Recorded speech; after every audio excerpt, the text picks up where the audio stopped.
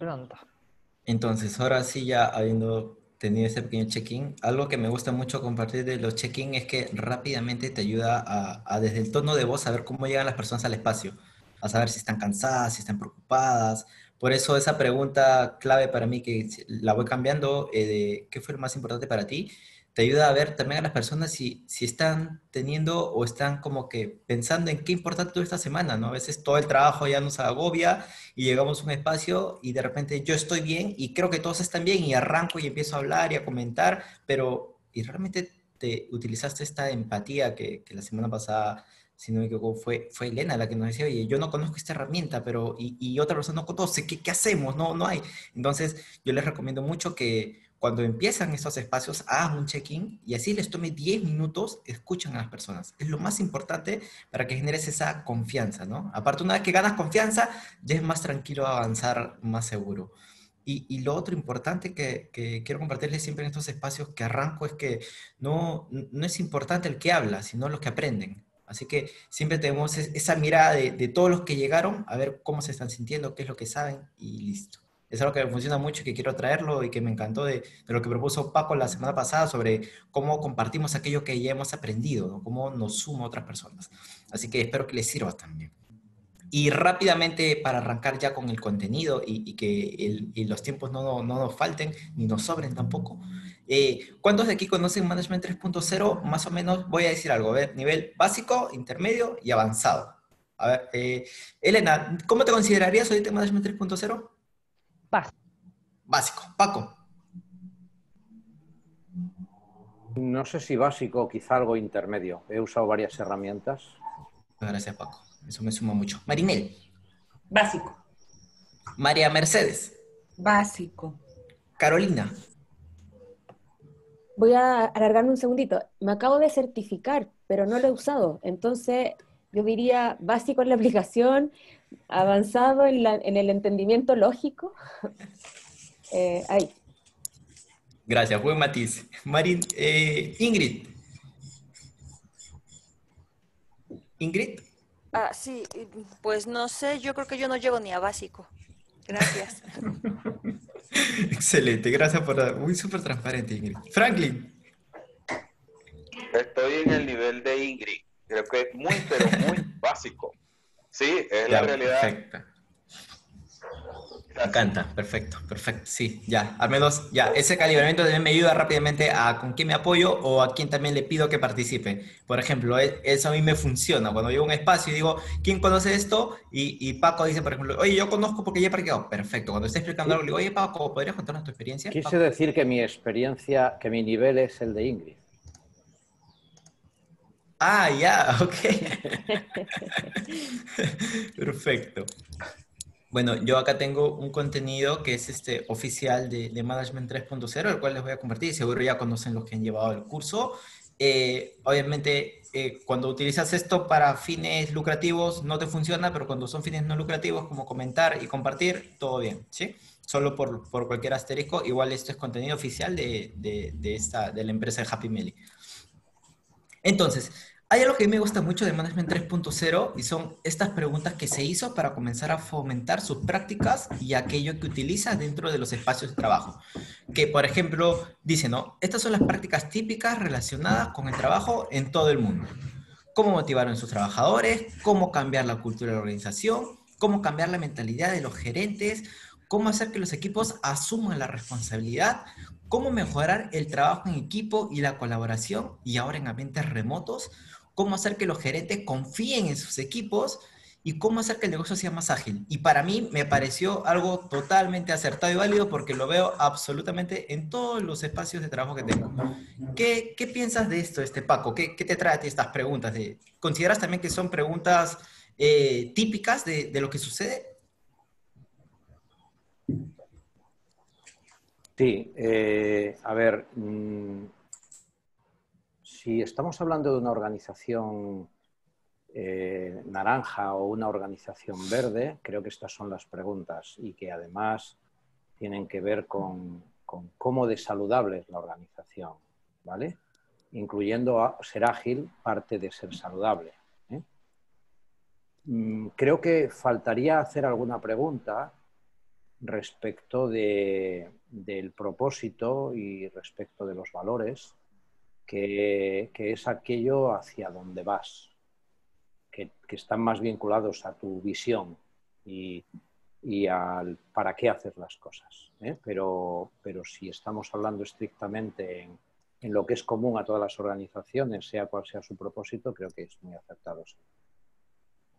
Excelente, Paco. Muchas gracias por, por lo contrario. Ingrid, ¿qué piensas tú so, sobre estas preguntas en las organizaciones? ¿Te has encontrado con también esto de aquí, con estos retos?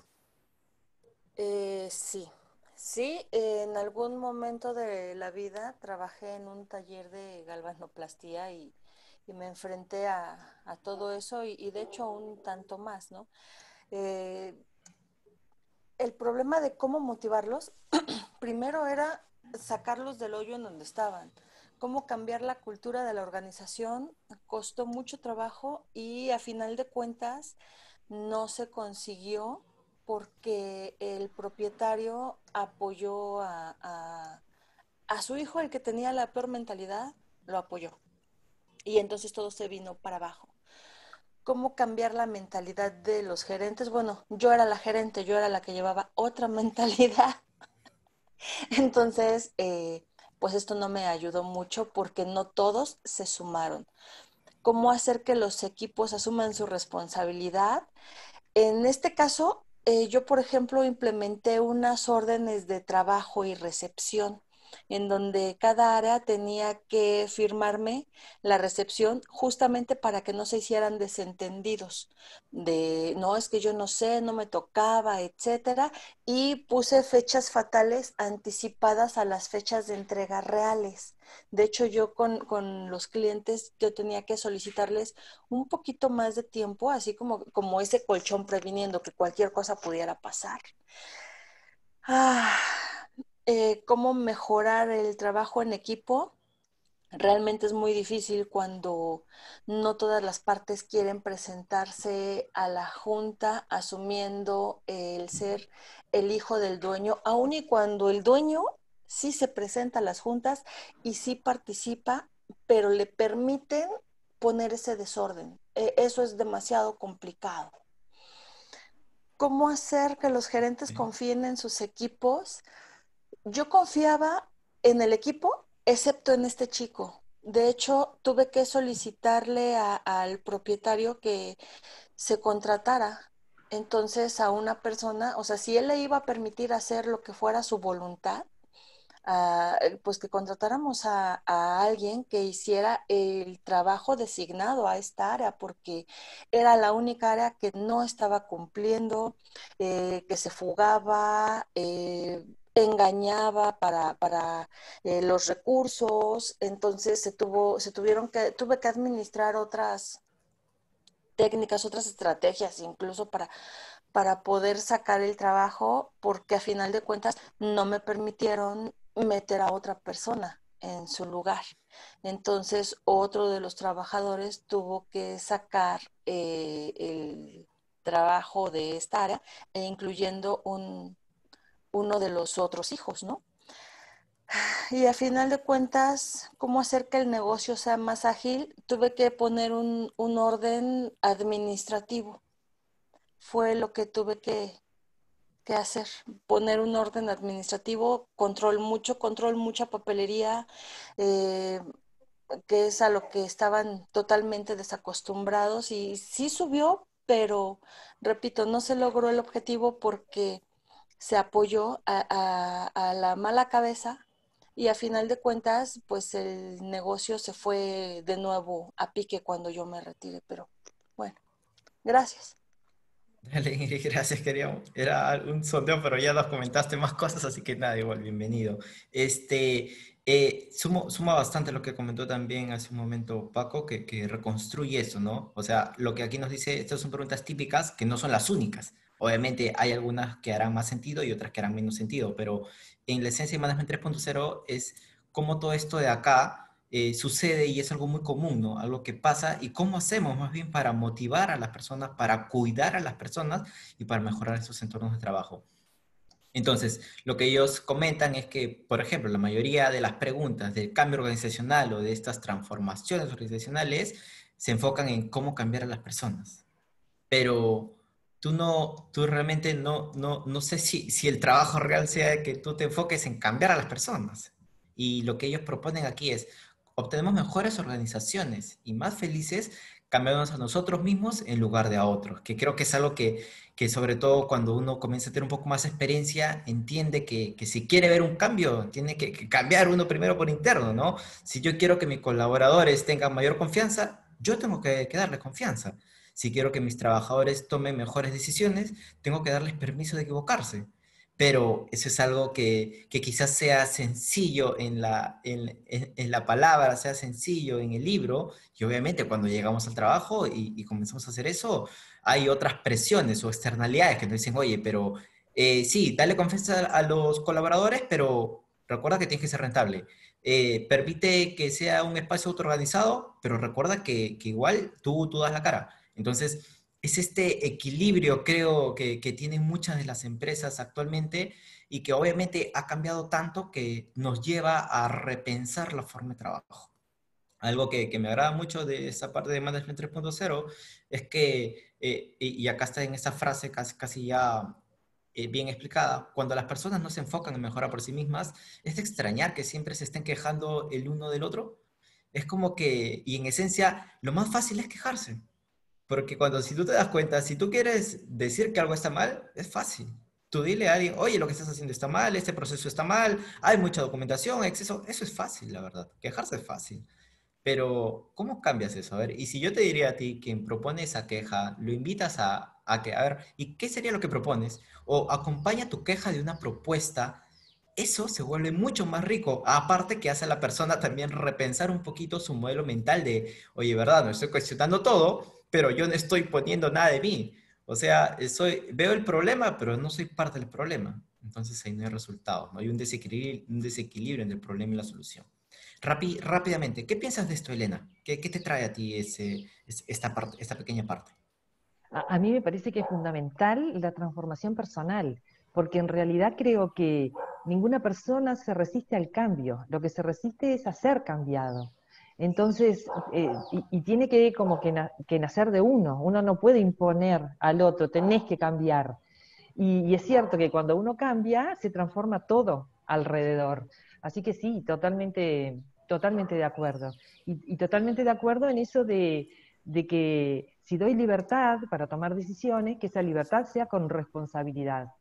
Entonces, eh, es, como una, es, es como un buen combo de valores ¿no? Dar libertad, pero la libertad con la responsabilidad también.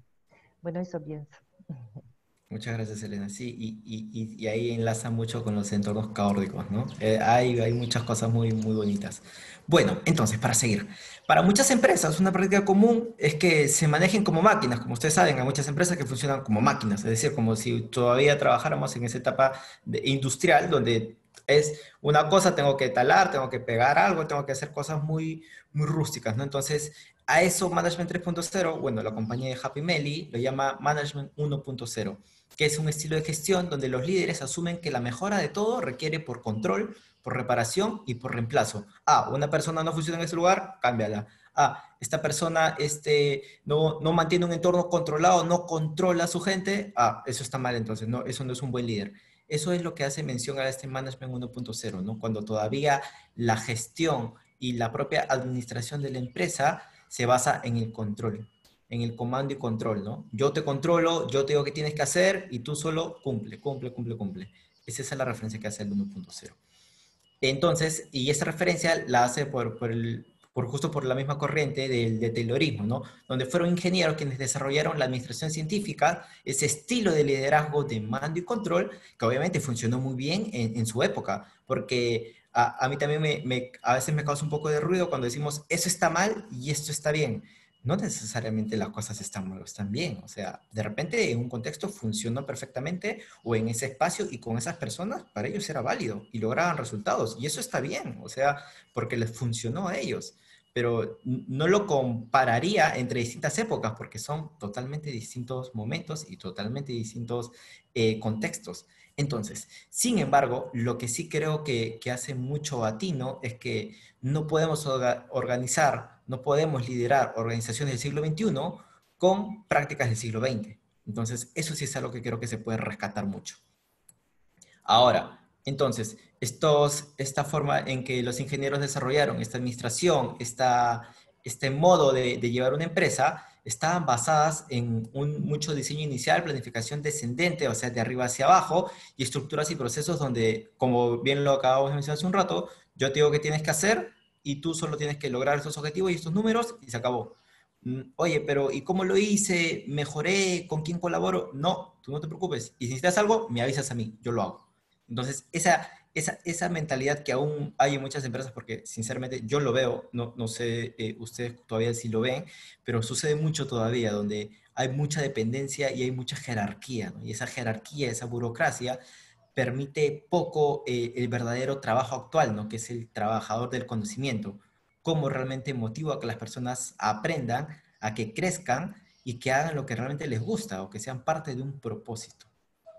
Entonces, estos marcos también funcionaron bien con tareas predecibles y repetibles, porque en esencia no tenías que, cuestionar, eh, por ejemplo, no lo sé, eh, voy a martillar algún clavo, oye, martillo con la parte de delante o con la de atrás, ¿no? No había que cuestionarse eso, ¿no? Simplemente era un proceso muy rígido, muy cerrado, y, ah, y este proceso, ellos lo denominan como un proceso por máquina, ¿no? Cuando es algo predecible y repetible, no hay mucha ciencia, no hay mucho valor que agregar, porque no tienes mucho que pensar no hay que cuestionar ese, estado cuando algo está como que totalmente probado de que si haces A, obtienes B. Si haces B, obtienes C. Listo, no, no necesitas hacer más. Entonces, estos trabajos no necesitaban tampoco ni creatividad, ni innovación, ni resolución de problemas, que es lo que realmente nos caracteriza a nosotros y lo que es el valor de nuestro trabajo. Ahora, y también eh, ellos identificaron que era una mala idea mover personas entre departamentos como si fueran partes reemplazables. Oye, no funciona en marketing, a ver, ayúdenme acá en, administración, en, control. Oye, no funciona en la, en la PMO, ayúdenme acá en la parte de recursos humanos, en documentación. Entonces, esa parte de mover a las personas sin entenderlas primero entre distintos departamentos es como algo que nos comentaba y muy saludable hace un momento Paco, ¿no? Como el sueño. Todos en el sueño nosotros tenemos etapas. No, no es que tú te dices, ah, a las 10 me duermo y, y te duermes. Eso no sucede así. Empiezas un proceso de cada etapa de sueño. Es lo mismo con el aprendizaje cuando tú estás aprendiendo algo, al inicio te, cuesta, no tienes que pasar por etapas para que realmente entres a ese sueño profundo o en este caso este aprendizaje profundo, cuando ya conoces muy bien algo. Pero si yo te corto a mitad, es como que tú estás durmiendo y, los, y de repente ya estás dormido y a los 10 minutos yo te hago así. ¿Qué va a pasar con tu sueño? Se corta. Y el ciclo no es que luego regresas a esa etapa, sino que regresas desde el inicio. Lo mismo identificaron en esto del aprendizaje, ¿no?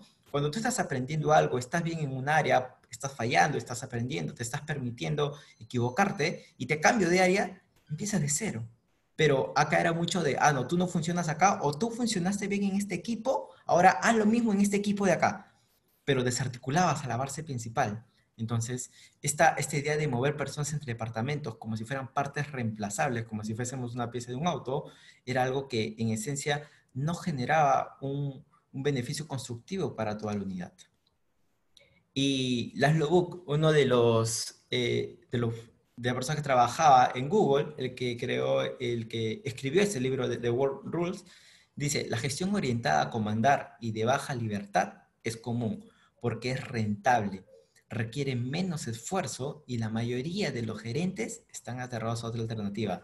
¿Por qué lo comenta de esta forma? Porque esto tiene que ver mucho con, con, el poder, ¿no? Nos cuesta mucho dar un poco de poder a otras personas, porque obviamente mientras mayor poder otras personas, se enriquecen, pueden hacer más cosas, tienen mayor responsabilidades, y en algunas empresas esto era un tema de que, oye, no, si tú no comandas, si no lideras a tu equipo, eh, tú no, no eres como que el representante, no, puede ser que todos tomen decisiones, será como si, es como si le tuviesen temor a que el poder se comparte entre otras personas. Quiero hacer un pequeño corte. Eh, ¿Qué piensas de esto, Carolina? ¿Qué es lo que te trae esta, esta, pequeño espacio de reflexión?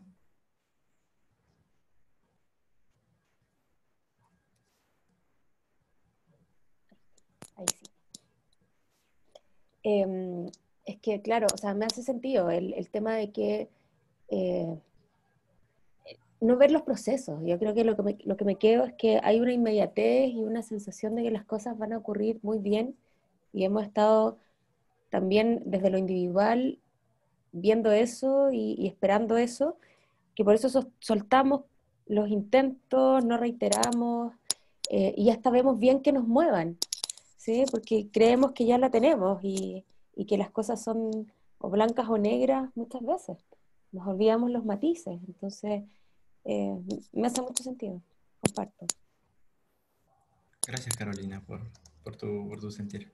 Entonces, ¿alguno de ustedes conoce un ejemplo o alguna empresa de Management 1.0 todavía donde ha trabajado? ¿Todavía ven ese? eh, ¿O de repente ya no hay 1.0 ahorita en el entorno actual? Pueden abrir micro rápidamente y comentarlo.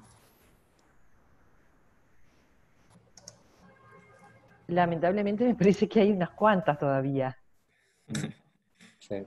Gracias. Paco, también, supongo por ahí. Carolina. Y es como que, a ver, no sé si, eh, no sé si recuerdo alguna pura, ¿sí? Pero hay algunas que están en los tránsitos y, están aquí, están allá, están aquí, en allá, ¿sí? De hecho, yo actualmente estoy trabajando con una que tiene muchas cosas de Management 1.0, pero le pide que sean ágiles, entonces, ¿cómo? ¿Cómo? Si valoran, valoran la jerarquía, no se mueven si es que el gerente no les avisa, eh, el gerente general pide que saquen al que rinde menos. Entonces, Sí. eh, creyendo una cosa pero haciendo otra. O sea, veo muchas incoherencias. Muchas gracias, Carolina. Y, y justo ese tipo de empresas que mencionas están en, en- en lo que se basa eh, Management 3.0, que ahorita está el Management 2.0. Vamos a ver qué significa eso. Bueno, en esencia Happy Melly eh, es, un- es una creación de Jürgen Appel, o como sabe Jürgen es, es el creador de, de esta marca, y él comentando que la miseria de los trabajadores en todo el mundo, gerentes incluidos, o sea, todas las personas, está personificada por el personaje ficticio de Meli Chung, que ha odiado su trabajo por más de 25 años, pero como lo ven ahí sigue sonriendo. Pero si se dan cuenta es como que está ya, sea que ya, a veces ya hasta nos descuidamos, nuestro espacio de trabajo ya es lo, lo, lo que hay, es lo que tenemos. Entonces él basa en ese personaje ficticio Happy Melly y, y es donde comienza a recrear todo esto de acá. ¿no? Igual Management 3.0 se basa en muchas investigaciones. Eh, este señor utiliza el método Mojito, que es junta muchas prácticas, muchas estructuras y las combinó para que Management 3.0 sea como que su soporte, ¿no? Y eso es algo que, que es muy chévere. Afortunadamente, como indica por acá, muchos gerentes se han dado cuenta de que el mayor desafío es trabajar con personas, no con máquinas. ¿Qué significa eso? Que en una organización de Management 2.0, todos reconocen, mira lo, mira lo que traía Carolina, todos reconocen que las personas son los activos más valiosos o son como que lo más importante y que los gerentes deben convertirse en líderes servidores, el líder servicial, el agente de cambio. Pero al mismo tiempo los gerentes prefieren mantenerse dentro de la jerarquía ahí entra la, la paradoja que, que, justo hace un momento nos, nos traía Carolina y que es algo muy común. ¿Por qué? Porque ¿cómo tratas con los gerentes de nivel medio, del middle management, de la C-suite, eh, de este nivel superior y los colegas en las funciones del personal? Es con toda responsabilidad el problema más desafiante que enfrentarán en una transformación. Y acá lo dice Lalux, ¿no? En una parte de, de su libro. ¿Cómo tratas? ¿Cómo realmente articulas esa parte de esta decisión? de estos tomadores de decisiones con los colegas, con las personas que, que, están operando, que están trabajando, que están en el día a día.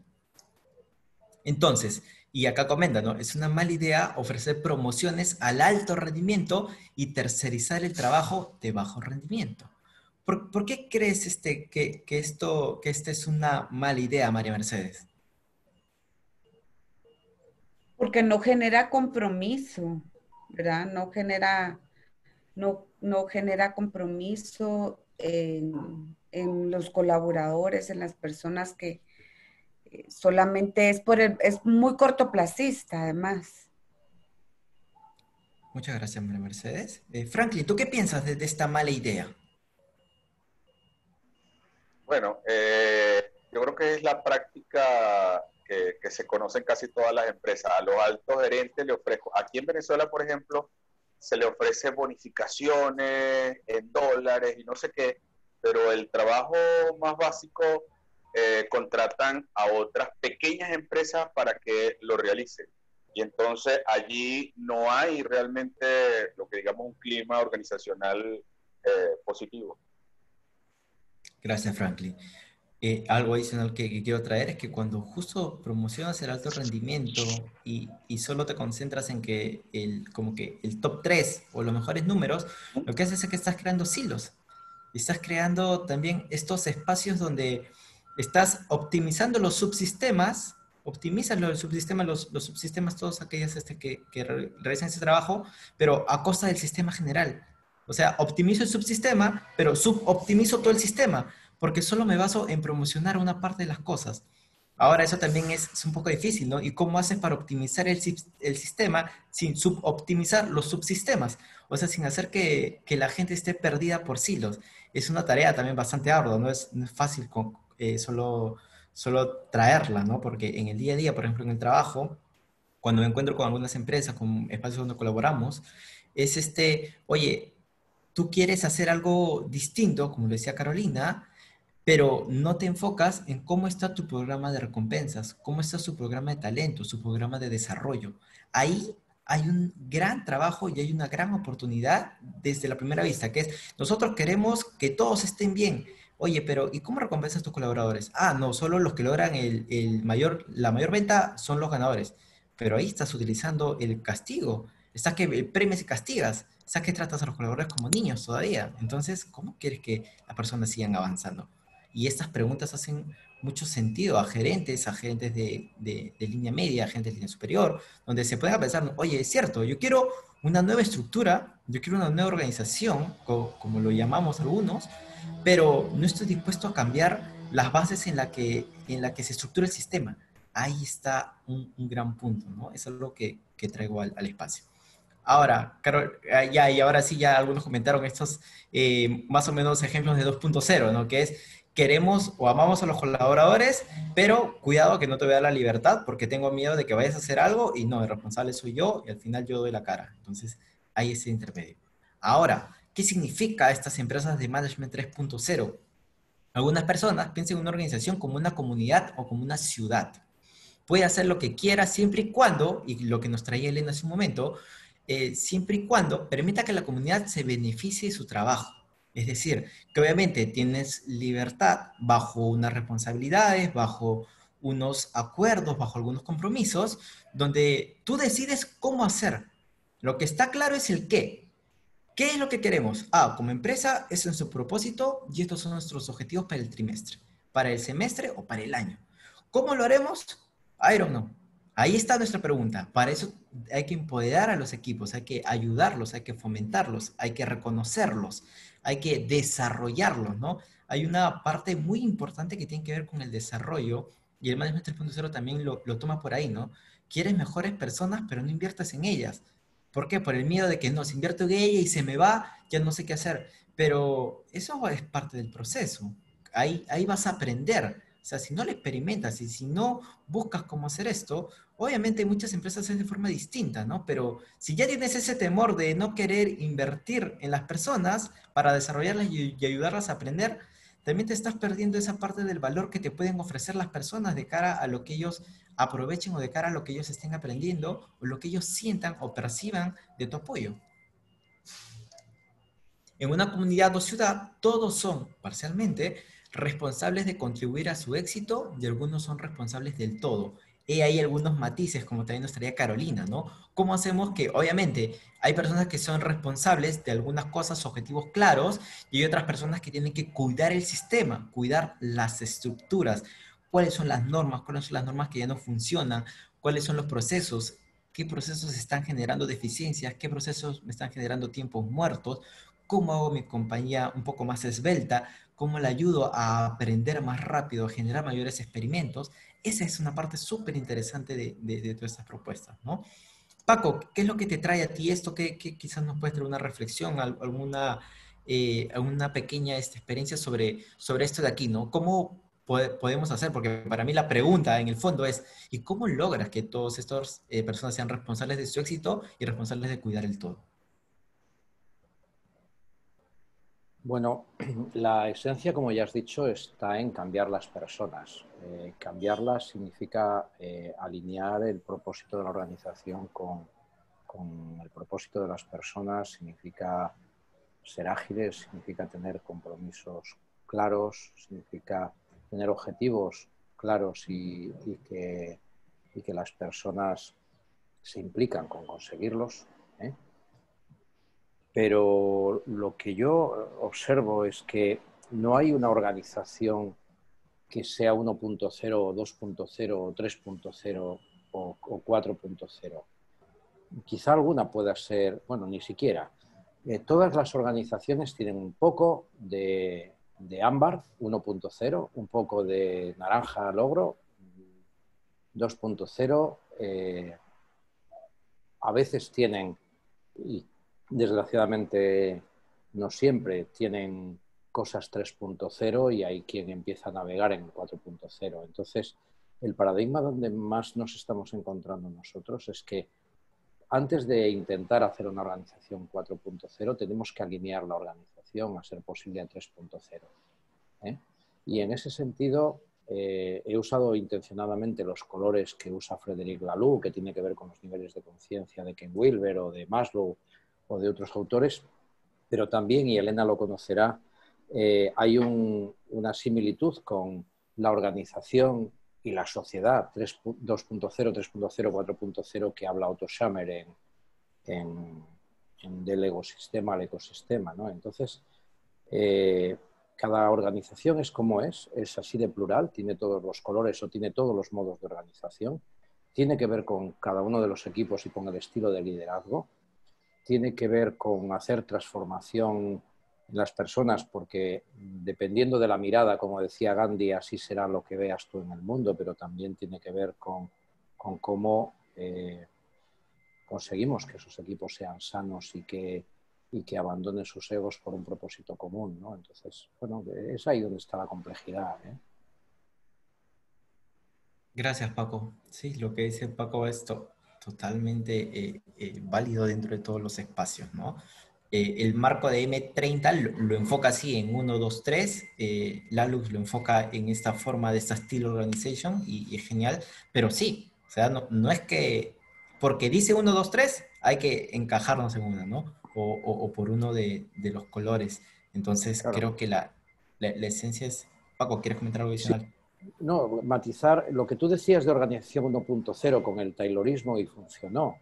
O sea, mm, eh, las organizaciones son sistemas complejos, pero son sistemas complejos en la medida en que crezcan o en que tengan que adaptarse a un entorno que cada vez es más sofisticado, más buca, más volátil, incierto, complejo y ambiguo. En ese sentido, es eso lo que va necesitando que se abandonen las prácticas Ámbaro 1.0, las 2.0, etcétera. Y, claro, cuanto más grande es la organización, o como, o como comentaba Ingrid, cuanto más apegado esté el líder a valores de esto lo tiene que heredar mi hijo, de como quiera que sea, ¿no?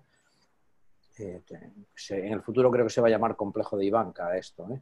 Entonces, en la medida en que, en que veas las cosas de esta manera, pues estás eh, haciendo que sea menos ágil, que sea menos adaptativa y que sea menos diversa, porque en el fondo tampoco es malo que la organización tenga las dos o tres maneras Sí que creo que 1.0 en principio no debería ser válido para ningún caso. A, lo mejor sí para gestionar a los robots, ¿eh? pero no para gestionar a las personas. Muchas gracias, Paco. Es siempre bueno y, me encanta a mí cuando traemos eh, ideas distintas. De hecho, eh, cuando, creo, creo, que obviamente mientras más experiencia vamos teniendo, no, nos es más libre poder hacerlo. Y yo los invito a todos a eso. No, no se casen ni se cierren con lo que hice o con lo que hay. Es es algo que es una referencia y es súper importante, súper interesante porque hay estudios, información y es genial, pero no es este, una talla única, ¿no? ¿no? No es small para todas las empresas, no es L ni XL. Así que todo esto solo nos ayuda a profundizar, a comprender y justo a, a cuestionarnos un poco más nuestras prácticas, ¿no? Como lo que decía Paco hace un momento. Gracias, Paco. Entonces, bueno, yo, yo, yo casi, yo, yo, bueno, yo casi me casé con, con Peter Drucker. Yo, de hecho, soy administrador de profesión y a mí Drucker ha sido un avanzado a su época siempre. Para mí, Drucker ha sido uno de mis mejores influyentes. ¿Qué es lo que dice Drucker acá, no? Eh, la administración se trata de seres humanos. Su tarea es hacer que las personas sean capaces de un desempeño conjunto. La administración es el factor crítico y determinante. Es decir, la administración se trata de seres humanos. Drucker ya desde los 70, 80 te está diciendo, oye, todo lo que tú estás viendo ahorita en el 2020, yo en esa época ya lo he identificado. Y tiene que ver con que tú no puedes solo basarte o creer que el resultado es el objetivo final de la empresa. Resultado también otra vez es parte de todo un conjunto de múltiples mini etapas, organismos, microorganismos, externalidades y complejidades que respondieron a un contexto, a un espacio y a un tiempo. Pero, pero Drucker lo explica de forma más sencilla y más bonita, ¿no? Yo siempre recomiendo que si quieren aprender algo neto de gestión, administración, Peter Drucker y Henry Mintzberg son para mí personas que, que, deberíamos de tenerla como que de llevar un, librito, un pocket acá chiquito en el, en el, cuerpo o en el bolsillo. Se lo recomiendo muchísimo. Yo, bueno, y, disculpe mi sesgo, pero yo sí quiero mucho a Drucker. y, y, me encanta, me encanta la forma en que explica las cosas, porque para mí ese señor está adelantado a su época, muy adelantado todavía. Eh, entonces, la gestión del trabajo es una actividad crucial, pero esto podría hacerse con o sin gerentes dedicados. Miren esta, este matiz. De hecho, una empresa puede hacer muchas gestiones con casi ningún administrador. ¿Por qué, por, qué creen que, comenta esto sin entrar todavía a detalle, Franklin? ¿Por, qué crees que, o, cómo ves tú que, que, la gestión del trabajo, gestión del trabajo es una actividad crucial, pero podría hacerse con o sin gerentes dedicados? ¿Qué, qué piensa Franklin? Eh, bueno, no sé. Este, yo creo que más que gerente dedicado es el grupo de personas comprometidos con la organización creo que es lo que garantiza que haya una gestión colectiva eh, exitosa. quizás para ser un poquito más explícito en esa parte de, este texto, lo que te indica es, ponte, si tú sacas al gerente o, al jefe de, tu equipo, ¿crees que tu equipo funcionaría ahorita bien? ¿Crees que podrían lograr objetivos? ¿Crees que podrían hacer cosas sin, que esté quizás esta figura del supervisor o del, o de, o de un jefe, no, no, sé cómo lo llamen en, otro lugar, pero acá es como que colaborador, supervisor, jefe. ¿Qué pasa si sacamos al supervisor o sacamos al jefe? ¿Crees que el equipo podría aún así avanzar? Supuesto que sí, si el equipo, como te dije, está comprometido con la organización y sabe hacia dónde va y es partícipe de la, digamos, de la, de la planificación, del plan de la organización, yo creo que no es necesario el jefe. ¿Ok? Vuelvo y repito, si hay, el equipo está comprometido. Si no, sería un desastre. ¿Ok? Sacar en una, una, una organización con una estructura jerárquica, eh, se saca el jefe y, y, es el caos. Pero en una organización donde eh, están comprometidos con ella, eh, yo creo que no es ni necesario tener el jefe. Gracias, yo trabajo en una organización así. Sí, hay muchos contextos, matices que justo nos hacen repensar y, lo que tú dices es clave, ¿no? Obviamente, puede que si es una organización muy jerárquica y tú quitas al jefe, las personas no saben a dónde van. Se vuelve como, como el gente sin cabeza. Porque o simplemente no, no, no, sabe, porque obviamente las personas no están aún empoderadas, comprometidas, ni alineadas con este propósito, ni con esta forma de trabajo, ¿no? Es obvio, como que a nosotros nos quiten una parte de nuestro cuerpo y obviamente digamos, oye, ¿y ahora qué hago? Bueno, igual, bueno, nosotros sí nos vamos a adaptar porque nuestro organismo es tan eh, inteligente que, que, busca la forma, pero en empresas que mantienen esto, quizás hay una complejidad, ¿no? Entonces, ¿qué, qué, qué más nos dice? La mayoría de los trabajadores creativos no se dan cuenta de que también son responsables de la gestión. Y aquí otra vez vemos lo de Franklin, ¿no? La administración es demasiado importante para dejarla a los gerentes. Esto es algo que repite mucho Management 3.0. La administración es demasiado importante para dejarla a los gerentes, o quizás solo a ellos. ¿Qué es lo que te trae a, pensar esto, María Mercedes? Bueno, que no es un asunto de una persona, es un asunto de todos. Eh, eh, por eso, mm, cuando tú iniciabas, eh, e iniciabas, decías, hablabas de la transformación personal y la transformación personal lo que trae es conciencia. En la medida que haya conciencia de, eh, del propósito, ¿verdad? Traer un propósito común, que trabajemos por ese propósito y que, mm, y que seamos conscientes del aporte de cada uno, pues de esa manera va, vamos a lograr los resultados. Si no se trata de una persona, pero sino que se trata de todos. Muchas gracias, Mercedes, por lo que traes al espacio. Lo único que queda por hacer para los gerentes es crecer y nutrir el sistema. Esto es algo que enfoca Management 3.0, ¿no? Que dice, oye, tú como gerente no tienes que encargarte de, decidir todo ni, ni, de, ni de poner este como que controlar a toda la gente, todos los entregables. No, lo que tú tienes que hacer es cómo cuidas a las personas para que, uno, entendamos cuáles son las premisas mínimas necesarias. Dos, qué es lo que esperamos de ellas y qué es lo que esperamos del trabajo. Y tres, cómo habilitamos las plataformas y las estructuras para que obviamente desempeñen y hagan las cosas de la mejor forma posible. Y otra vez, ¿no? Esto es sencillo comentarlo, es sencillo leerlo, pero en la aplicación es ahí donde encontramos, ¿no?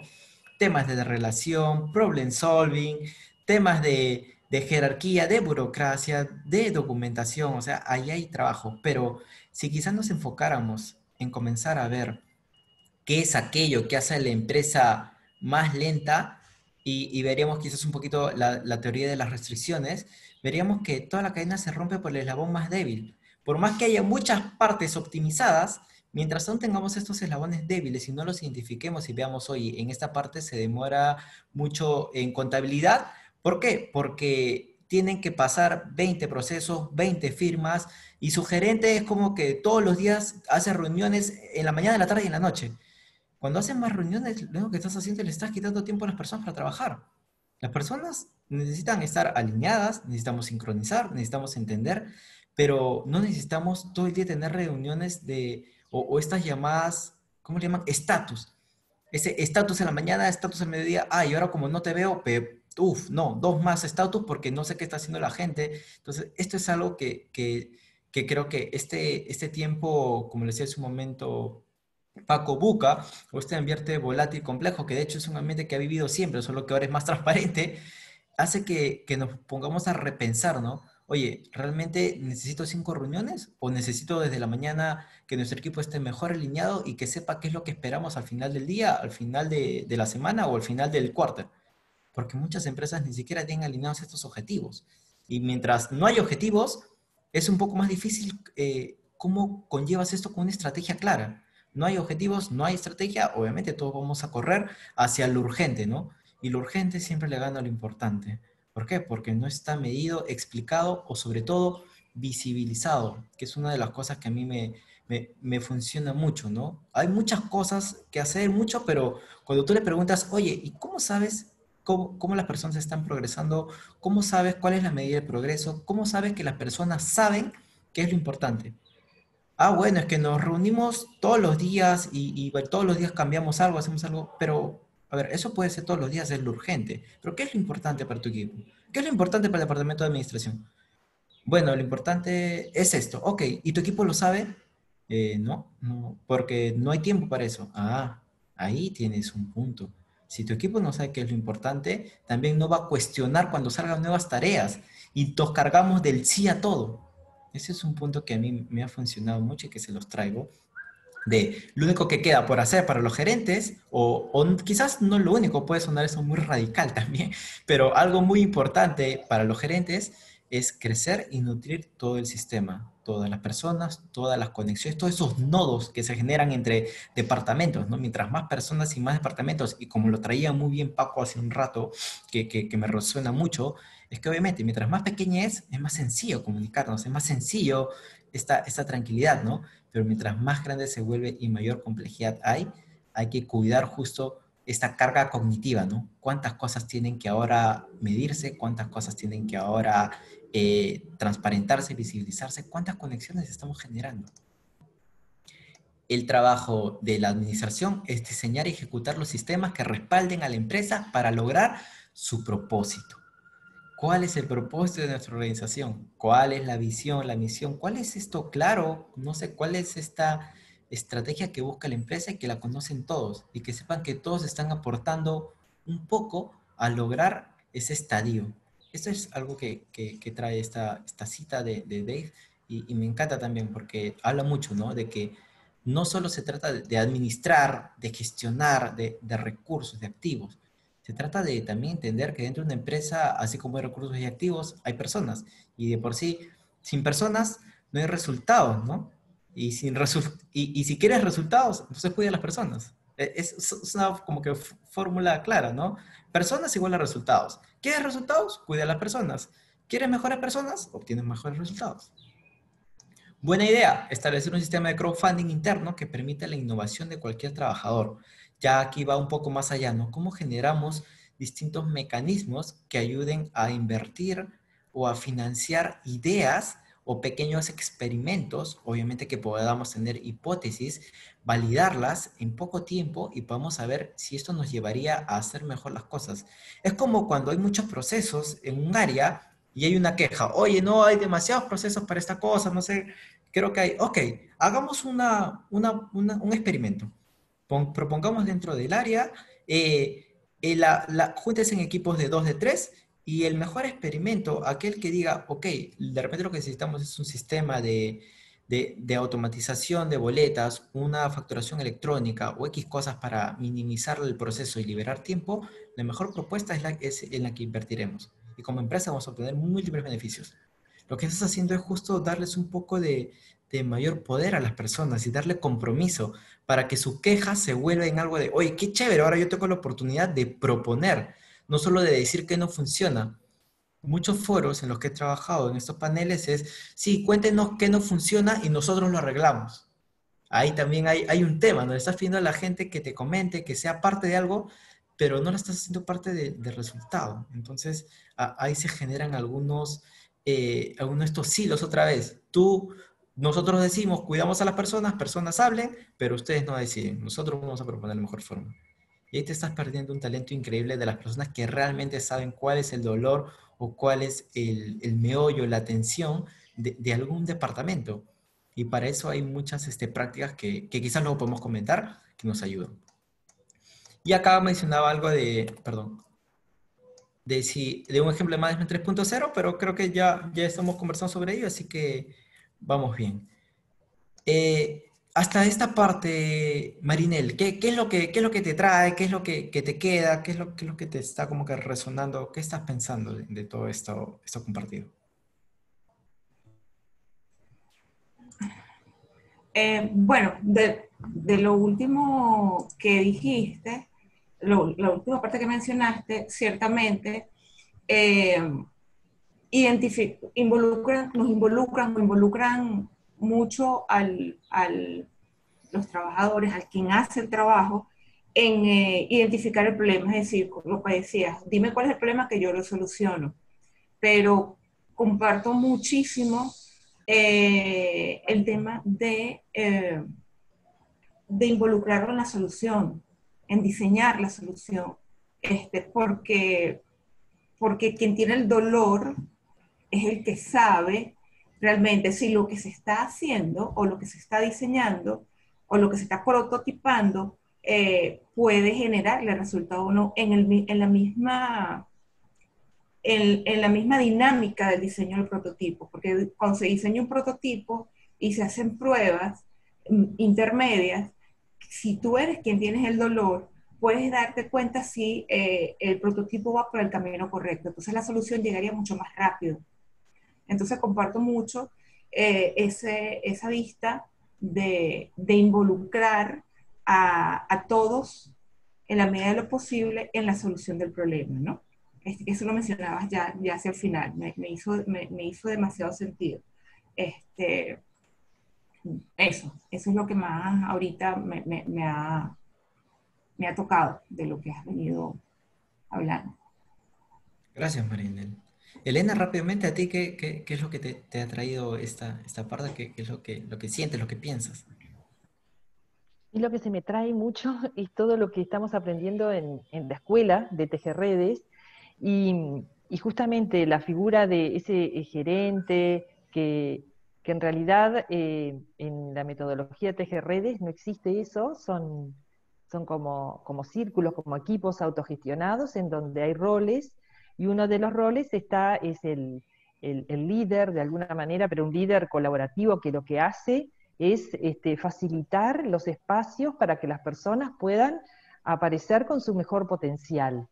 Eh, y el articulador, que es la persona que justamente eh, ayuda o va tejiendo esas relaciones y esos vínculos, este, entonces es, es, es, como la mirada hacia la importancia de las personas, porque como tú decías, mirando eso, enfocando en las personas, es que se logran los resultados. No pongo primero los resultados. Trato de que la persona saque lo, mejor que tiene para sacar, que dejar aparecer, porque en realidad todo el mundo tiene, todas las personas tenemos este, una maravilla de tesoro adentro. El tema es cómo dejamos aparecer a la persona. Nosotros, a veces este, con el poder, con el ego. Eh, entonces, eso, ¿no? El articulador mm, generando espacios de eros este, para que las personas aparezcan y, el, líder, digamos, este, que, en Tejerredes están como los bichitos, el líder viene a ser el león, eh, es el que impulsa hacia, hacia el propósito, ¿no? Entonces esas dos figuras, con, otras más, digo, son las que eh, justamente enfocan hacia la mirada de, sacar el mayor potencial de las personas, el ser plenos, el ser cada uno como es, sacando lo, mejor que tenemos. Muchas gracias por lo que traes, Elena. Rápidamente, Franklin, creo que levantaste la mano, ¿quieres comentar algo? Sí, sí, sí. Quería comentar solamente que para mí eh, Magnum 3.0, como dice ahí, no es, otro marco más. Para mí es una filosofía de vida, es una, una, una manera de ser una manera de accionar. Y creo que es clave entender eso, porque si lo vemos solo como una herramienta, eh, allí es donde en las empresas se crea eh, una esquizofrenia cuando hay esa mezcla entre el 1, el 2, el 3 y, no entendemos que esto es una manera de, ser. Gracias, Frankie. Sí, ellos utilizan ese compartido del 1 y el 2 y el 3 para darnos contexto. Y de ahí es obviamente ya tu, tu, empresa será, no sé, 1.8, 2.43 pi. No lo sé, ahí ya, ya, depende, pero sí, tiene mucho que ver con lo que también eh, trae Elena y, y, construyo sobre lo que nos comentó Marinel, Franklin, Elena, que, que en esencia es cómo sacamos el potencial de las personas, ¿no? Cómo ponemos alas debajo de los hombros de las personas. Eso es lo que nosotros, eh, donde trabajo, es parte de nuestro propósito, ¿no? ¿Cómo colocas alas debajo de los hombros de las personas? Porque al final lo, que tú buscas o lo que tú deseas es que las personas cuando están en su mejor versión van a dar lo mejor de sí. Y, y, es que es eso casi natural, intrínseco, propio nuestro, porque somos así, cuando tú te levantas de mejor humor, o le decía Paco hace un rato, ¿no? Cuando tú estás de mejores ánimos, haces las cosas mejor, te levantas temprano, haces tus cosas tranquilo, avanzas, alguien puede que salga un ruido, una molestia, pero no te lo tomas personal, le buscas el lado positivo. Es como que una forma de, de cómo nosotros vemos a los otros, pero no de una forma eh, de yo quiero, yo quiero, yo veo a otro como me gustaría que me vean a mí, no, sino yo como veo a otro como le gustaría que lo vean a él. O sea, que, que no es lo mismo, ¿no? A veces empatizamos y decimos, sí, ve al otro como, haz con el otro lo que tú eres que te hagan a ti, pero no necesariamente siempre ocurre. Hacen el otro lo que le gustaría que le pase a él. A él no le va a gustar lo mismo que a ti. A esa persona mundos totalmente complejos distintos, ¿no? A mí, a mí me, me, gusta mucho esa, esa metáfora. Eh, entonces, Management 3.0 se basa, como decía, ahí en, en, ideas, en formas de pensar y en Marty. Marty es algo que ellos crearon, que es como que un extraterrestre con todos estos ojitos que ustedes ven acá, si son siete, si me equivoco, dos, cuatro, sí, dos, tres, cuatro, seis. Son seis ojos. Uno, dos, tres, cuatro, cinco, seis. A veces me, me, olvido de los números, así que tengo que contarlo de uno por uno. y Management 3.0 en estos seis ojos lo que hace es que enfoca cada lente en uno. Energizar a las personas. Dos, empoderar a los equipos. Tres, alinear las limitaciones. Cuatro, desarrollar la competencia. 5, crecer la estructura como un todo. Y el 6 es mejorar todo el sistema. Es más o menos estos pasos que ellos eh, han, por así dicho, eh, limitado para poder darle un poco de, enfoque a su marco y a su propuesta, ¿no? A este modelo que ellos traen. Entonces, ¿qué significa energizar a las personas? Que tener en cuenta y en esencia que las personas son lo más importante de una organización y los gerentes deben hacer lo que sea necesario para mantener a las personas. Uy, no veo por aquí si me cortó algo. Pero bueno, creo que se... Ustedes sí lo pueden leer, ¿no? Ah, ya, acá está. Y los gerentes deben hacer lo que sea necesario para mantener a las personas activas, creativas y motivadas, que es obviamente un paso nada sencillo, pero creo que hay una premisa clave, ¿no? Y, y al menos hay un punto de partida. Y imagínense, ¿no? Que yo llevo a mi equipo y digo, ok, voy a trabajar en energizar a las personas.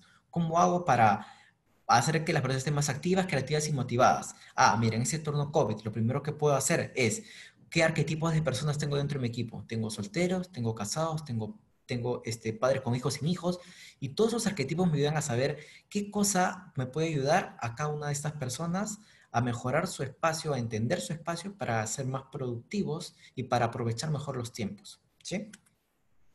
Eh, dos, ¿cómo, ¿cómo motivamos a la gente? ¿Cómo podemos mejorar el compromiso? Eh, me gustaría escucharte, Carolina, ¿cómo de, repente en tu experiencia, cómo has motivado, qué cosas te ha funcionado y cómo crees que se puede mejorar el compromiso de las personas rápidamente?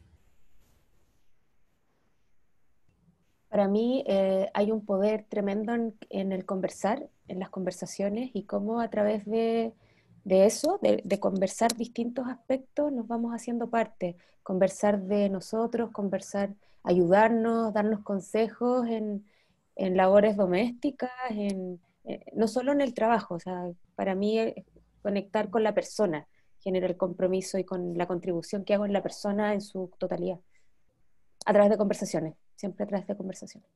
Muchas gracias. Paco, ¿qué le sumarías a eso? ¿Qué cosas te han funcionado que puedas compartir con nosotros? Está en mute, Paco, disculpa. Sí, perdón.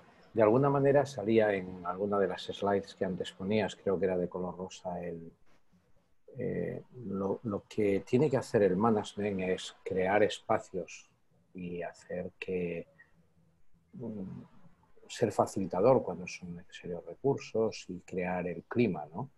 Es cuando generas el clima, cuando creas el clima, Mm, la mayoría de la gente está motivada. Yo creo profundamente en que mm, a la gente se la puede eh, dar un, ambiente para que, para que corra, pero si no tienen ganas de correr, no correrán. ¿eh? Creo que la primera motivación es intrínseca. ¿eh? ¿Vale? El problema en las organizaciones que, es que la motivación intrínseca se asfixia, se ahoga, se le hace que no tenga sentido porque no hay propósito compartido, no hay valores compartidos, no hay objetivos compartidos. Entonces, eso es las primeras cosas que, creo que se tienen que hacer, que empiezan por el proceso de selección. Si hay una persona que, no, que no sale de, la motivación, es así. Y pongo un ejemplo, no quiero extenderme en esto, pero pongo un ejemplo. Cuando trabajamos en un ecosistema de consultores artesanos, que nadie es empleado de nadie, pero que todos ponemos lo mejor de nosotros y los proyectos salen y salen en, tiempo y salen con calidades y salen de una forma excelente y, y se da más de lo que se, se, preveía o se contrataba, mm, no, no estamos teniendo eh, la necesidad de motivar a esas personas. Muchas veces el problema en las organizaciones es que como son tóxicas, como faltan las cosas que dije, pues entonces la, la, labor del management es tener el confesionario como el cura para escuchar por qué últimamente no te estás formando, eh, no ves que para nosotros es crítico estar siempre en lo último, eh, mm, ¿qué te pasa ahora? Tienes una pájara, el último mes no has funcionado bien, una pájara es una cosa que les pasa a los ciclistas. ¿eh? Eh, este es el, para mí el tema básico es contar con gente que que está automotivada. Creo que todo es muchísimo más fácil de esta manera. Y, alinear las cosas que he dicho y tratar de, de, tener equipos que funcionan con alto grado de autogestión. También esto, como tú decías antes para otras cosas, es contextual. No, no tiene que tener todo el mundo el mismo grado de autogestión probablemente, ¿eh? pero, pero creo que es, es muy importante poner esas condiciones porque el compromiso mejora solo y, medir y hacer y hacer, una vez que se mide, hacer rendición de cuentas. ¿eh? O sea, eso es la palabra que yo relaciono con responsabilidad. Tener la capacidad en transparencia, que me parece otro atributo importante, de rendir cuentas. Y si no funcionan las cosas, decirlo y ponerle eh, lo necesario para que la siguiente vez eh, no ocurra o, se mejore. ¿Vale? Hacerlo sistémico en ese sentido y sistemático. Pero es un conjunto de cosas, muchas cosas. Y eh, estoy de acuerdo con Management 3.0 que esto es una cuestión de mindset, es una cuestión de, de mentalidad, de actitud, etcétera, ¿no? Pero hay que conseguir que todo el mundo esté alineado en esto. Muchas gracias, Paco, por lo que traes. Creo que no. Por eso les mencionaba al inicio que eh, no es importante el, que enseñe, sino los que aprenden. Realmente que se, se, cuando entre nosotros, a, mí me encanta hacer eso, ya, llamar a las personas por su nombre, hacerlas participar, y, y salen cosas que, que, a veces tenemos en la mente, que, que, hay, que ahí están. O sea, puede que no conozcamos de un marco, de un método, de un framework, eh, pero todo esto ya, ya, ya nos va a hacer mucho sentido, porque la experiencia propia ya nos ha enseñado mil cosas, solo que de repente lo que nos ayuda es a hilar mejor aquellas cosas que, vemos, que pensamos y aquellas cosas que decidimos. Y solo para construir un poquito sobre lo que trae Paco, que, me parece súper, súper valioso, y al igual que todo lo, que han traído cada uno de ustedes, y gracias por, participar, es cómo realmente este mindset o esta motivación se genera sin que suene tan, tan, este, tan soñadora, ¿no? Tiene que haber un equilibrio entre eh, el sueño y la ejecución. Porque si solo nos pasamos hablando de mindset con las personas, no hay resultados. Pero si solo nos pasamos hablando de resultados, tampoco hay consideración en las personas. Es una palabra para mí que, que el COVID me ha resonado mucho, que es cómo buscamos ese equilibrio, ¿no? Ok, quiero que las personas crezcan, pero también tengo que lograr resultados. Entonces, tengo que dejar los objetivos claros y parte de algo que hemos visto hace un momento es cómo los co-creamos, ¿no? La creación es importante, pero la co-creación es aquello que genera esta motivación que acaba de decir Paco. ¿Por qué? Porque yo me siento comprometido con algo que voy a lograr y que voy a hacer, porque yo he sido parte de ello. Pero cuando yo me escucho un objetivo de otro, sí, lo voy a hacer, lo voy a cumplir porque puede ser parte de mi responsabilidad, de mi trabajo, pero mi compromiso va a ser mayor con aquello donde yo participé, donde mi voz se hizo escuchar, o donde al menos una de las palabras que yo comenté está en una de esas letras de ese statement o de ese de ese objetivo. Entonces, eso, eso es algo que, que, ayuda mucho. Y eso es lo que el Management 3.0 toma de la motivación intrínseca y extrínseca, que dice, ¿cuándo fue la última vez que disfrutaste tu trabajo? ¿Y por qué? Yo los invito a que lleven esa pregunta a sus espacios. No la vamos a responder ahora porque es cuando haga, hago esa pregunta o la comentamos, a veces se nos va, se nos va todo. Acá acaba la, la sesión, acá, acaba todo. Porque vamos a hablar de, de muchas cosas interesantes, pero yo los invito a que ustedes hagan esta pregunta y a que la lleguen a sus equipos. Y, y pregúntela con total apertura, como, como, hablamos hace un momento, ¿no? Si queremos generar transparencia, seamos transparentes. ¿Cuándo fue la última vez que disfrutaste tu trabajo y por qué? Escuchen a las personas lo que les van a decir y ahí van a sacar información que, puede, que puede que no me falle ese cálculo, pero les va a alcanzar trabajo para tres meses más. Eh, de una van a tener mucho trabajo ahí. Así que vamos con la siguiente. Sin motivación, como le decía hace un momento Paco, nada se produciría. Y John Roberts en The Modern Firm nos eh, coloca este quote. Existen empresas para coordinar y motivar la actividad económica de las personas, que, que es como que solo, solo hacen eso, ¿no? Existen empresas para coordinar y motivar la actividad económica de las personas. Un trabajador motivado no es necesariamente un trabajador comprometido, Miren, esa frase que para mí es muy potente, que, que trae estos slides.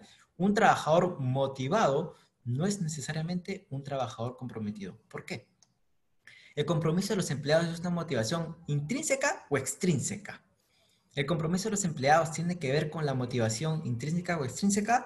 Un autor escribe porque le encanta el proceso de la escritura o porque ama el apoyo y el aliento de los lectores, o un poco de ambos.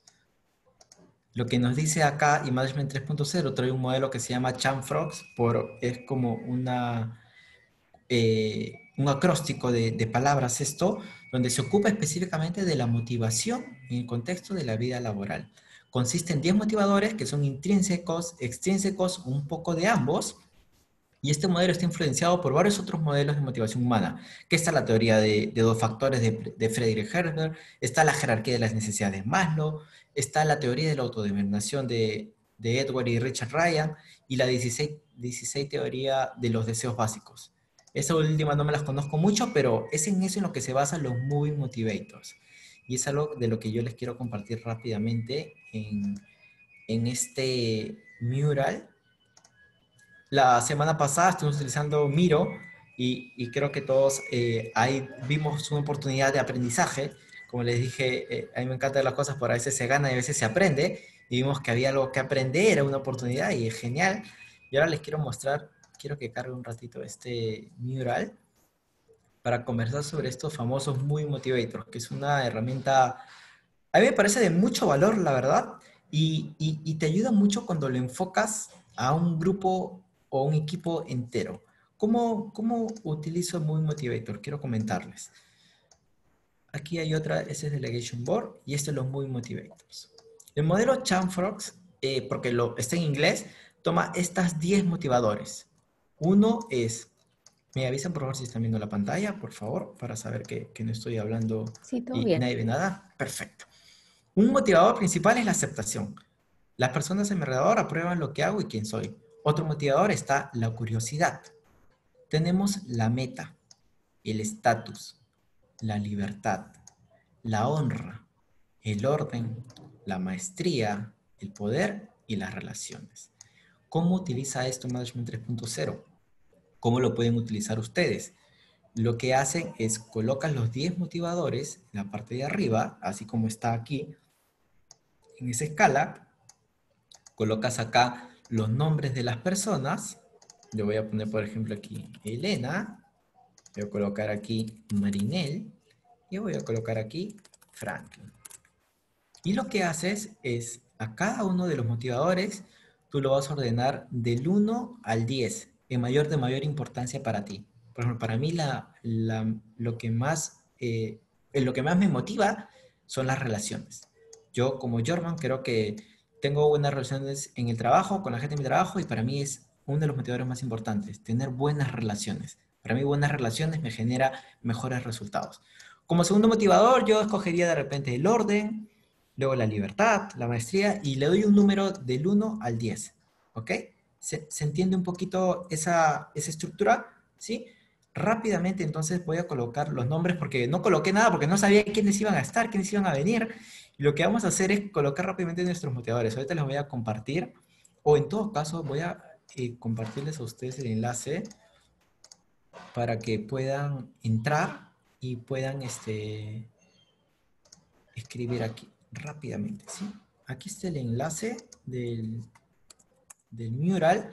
Denle clic y les va a aparecer eh, Enter as, as, as a guest o as como visitador. Entonces, le va a pedir hasta que coloquen su nombre y ya están aquí adentro. Me avisan si tienen algún problema rápidamente, ¿sí? Entren al chat, está aquí en los tres puntitos del, del, del Zoom, chatear, y ahí les ha de haber llegado el mensaje y deberían de poder tener acceso. Ya veo a una arañita y un gorila. Ajá. Está Carolina con nosotros y está aquí también. Ya van tres personas, muy bien. Voy colocando, ok. Elena, Marinel, Franklin, tengo aquí a María, María, Mercedes. ¿Me, avisas, me avisan, por favor, si pueden o no pueden ingresar. Tengo aquí a Ingrid.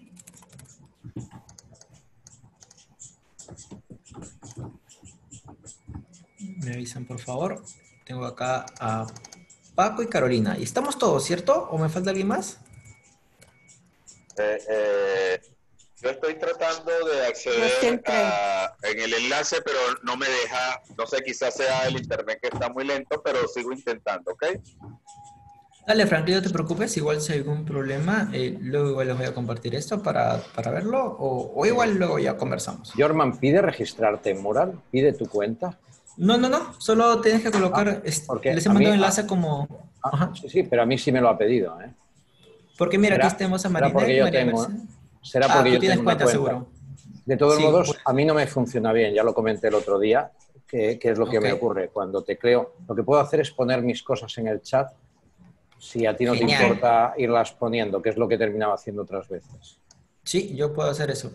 Entonces, lo que voy a hacer es, o lo que pueden hacer ustedes es, los que hayan entrado, control C al POSIT, control V, y coloquen ahí sus POSIT rapidito, para ir experimentando también con la herramienta y ustedes mismos vayan eh, aprendiendo, ¿no?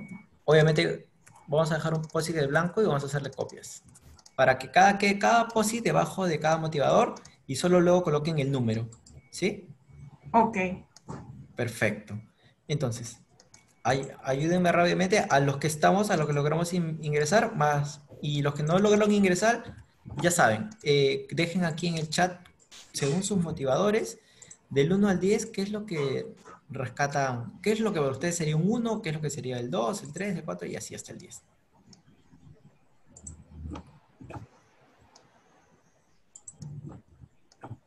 Como no sabía, como le dije, cuántos íbamos a ingresar, eh, no, no hice todas las copias porque dije, seremos 10, seremos muchos, seremos pocos. Pero ya estamos. Elena, yo he, ido copiando los tuyos. Si deseas, puedes ya ir. Eh, solo le das doble clic al POSIT y colocan el número que represente ese motivador. ¿Está bien? Perfecto. Muchas gracias.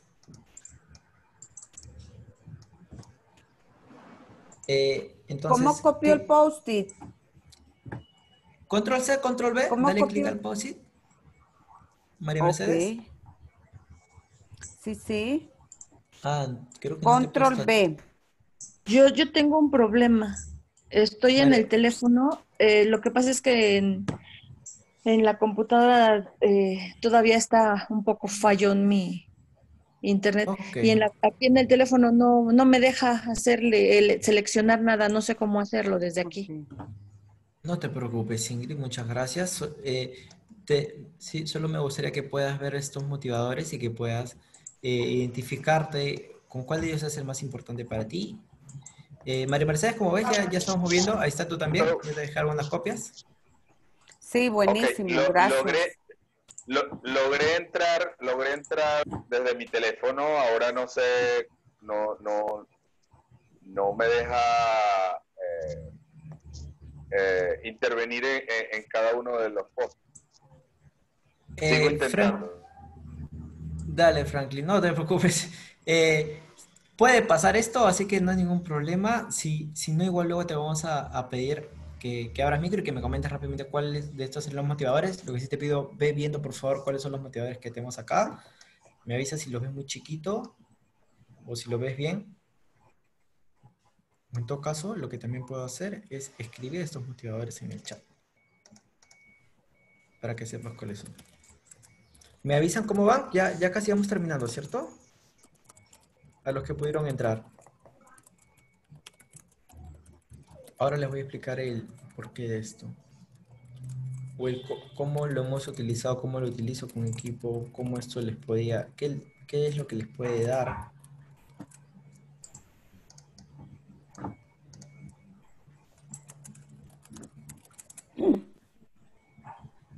que ahí manden en chat los, los 10 motivadores.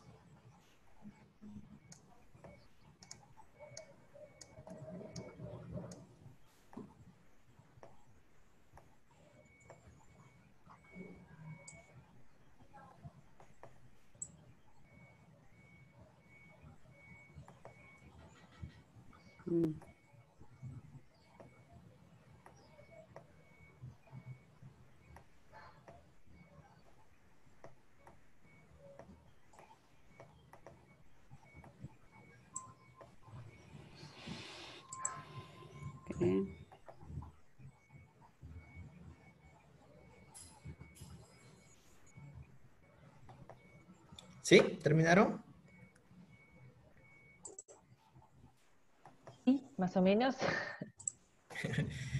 ya, ya estos retos con estas herramientas tecnológicas nos ayudan a... Ese para mí son espacios seguros. Aquí todos equivocamos, tranquilos, nos renegamos, no importa. Pero de acá ya aprendemos a que en otro lado vamos a, tener toda la interactividad necesaria para ayudar a otros y aprender más sé por qué yo completé todos los números y no salen acá en la pantalla compartida.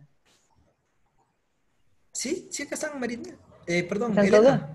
Sí. Ah, me falta, me falta acá uno de... En honra y ah, en poder no hay.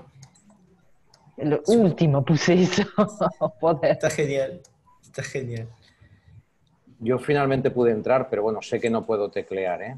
Eh, Ah, puedo sí. hacer una prueba. Sí, a ver, puedo teclear, pero verás. Ah, sí, porque acá estás, Paco. Ahí te veo. Sí. Paco, Como una ¿y ¿por qué te pasa eso con mural?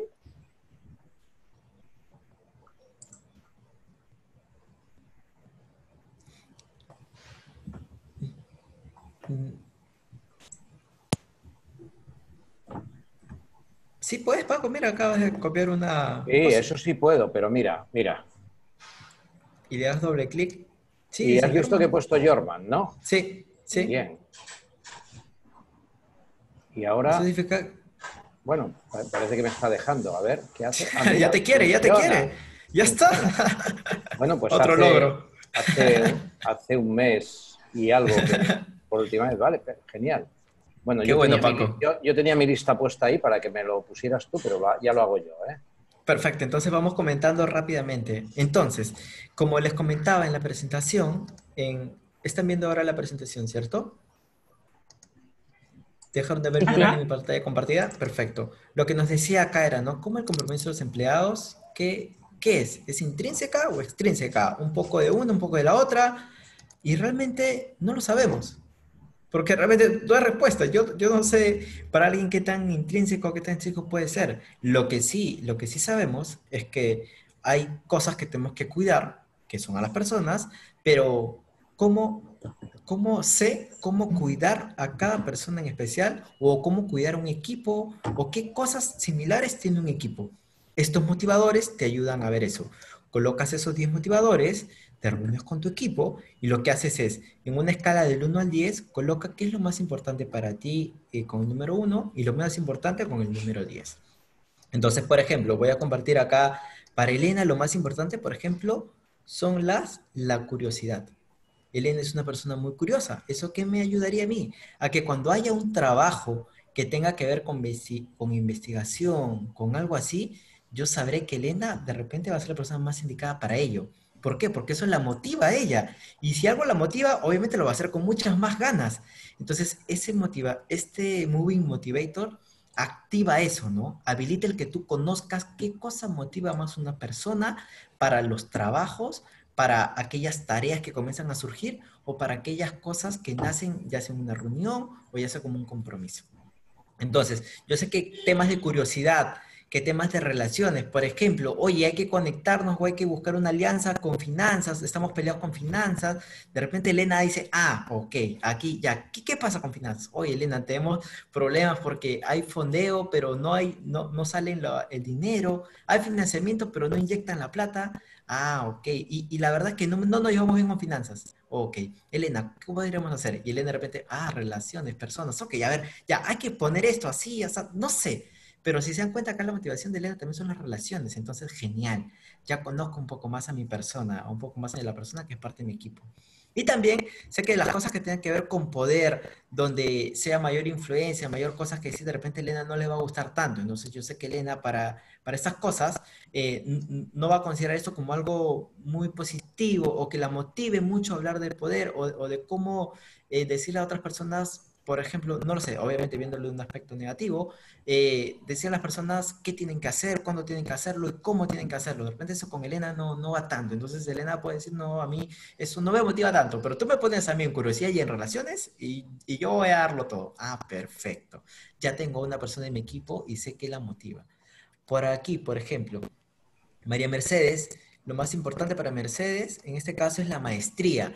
Entonces, aquellas cosas que tengan que ver con nuevos desafíos, con competencias que estén dentro de sus capacidades, a María Mercedes va a ser como que mi, mi promotor, mi promotora oficial en maestría. Ah, un nuevo reto, una complejidad en el trabajo. María Mercedes puede ayudarnos a hacer eso de una mejor forma. ¿Por qué? Porque eso la motiva. Es lo que en este momento e- ella comenta, eh, que ella escribe que le motiva. Otra cosa que motiva a María Mercedes y que nos puede ayudar es la libertad. Entonces, por ejemplo, en libertad nos dice, soy independiente de otros con mi propio trabajo y responsabilidades. Soy independiente, entonces puede hacer cosas donde obviamente yo sé que tengo la libertad de poder hacer esto de forma tranquila, sin mucha presión, sin que me estén controlando todos los días, sin que me digan cómo vas. No, Entonces, yo sé que en libertad a María Mercedes la motiva. Mientras yo más libertad le pueda dar a María Mercedes, puede que el trabajo de ella sea mucho mejor, porque ella se siente más tranquila en eso. Hay personas que trabajan mejor solas. Y, y otra vez, y eso no está mal. Yo, yo, yo quito mucho los adjetivos de está bien o está mal. Es simplemente que para esa persona le funciona. Y si a ella le funciona trabajar sola y la libertad está bien, perfecto. Ahora yo sé cómo más o menos lidiar un poquito mejor con María Mercedes, qué cosas puedo gestionar con ella y cómo puedo ayudarme. Y de la misma forma, tengo aquí un comentario. Ah, Ingrid nos comenta, para Ingrid, por ejemplo, lo más importante es primero el orden, luego la maestría, lo que más la motiva, curiosidad, las metas, libertad y finalmente también poder y aceptación. Puede que ahí encuentres también un patrón dentro de tus equipos, donde veas que muchas personas están menos motivadas por el poder, entonces sabes que ese equipo es un equipo que está más orientado hacia la comunidad, hacia las personas, ¿no? a mí no me importa cuánto poder tenemos, a mí lo que me importa más es cómo como equipo logramos cosas, cómo colaboramos, cómo aprenden otros, cuál es el orden, que, que haya también reconocimiento, que hayan metas, que haya estatus, por ejemplo, muchos también el estatus es como que nada, 8, 10. O sea, estatus es lo, menos que nos importa si haríamos una lectura de este equipo, o sea, de estas personas que hemos colocado. Entonces, esa es la forma que Muy Motivatos te ayuda a habilitar y a conocer mejor cuáles son los motivadores de las personas y cuáles son en general el motivador más bajo, más alto de tu equipo, donde tienes que ahí buscar qué actividades, qué tareas le das a este equipo y que sabes que la van a motivar y lo van a hacer las que van a hacer que logren las cosas con un mayor interés, con un mayor propósito. ¿Qué les parece? ¿Qué les pareció esta, esta herramienta? Rápidamente los invito a que abran micro y ustedes mismos comenten. ¿qué, ¿Cómo creen que les puede ayudar esto? ¿Cómo lo aplicarían? Germán, ¿te puedo hacer una pregunta?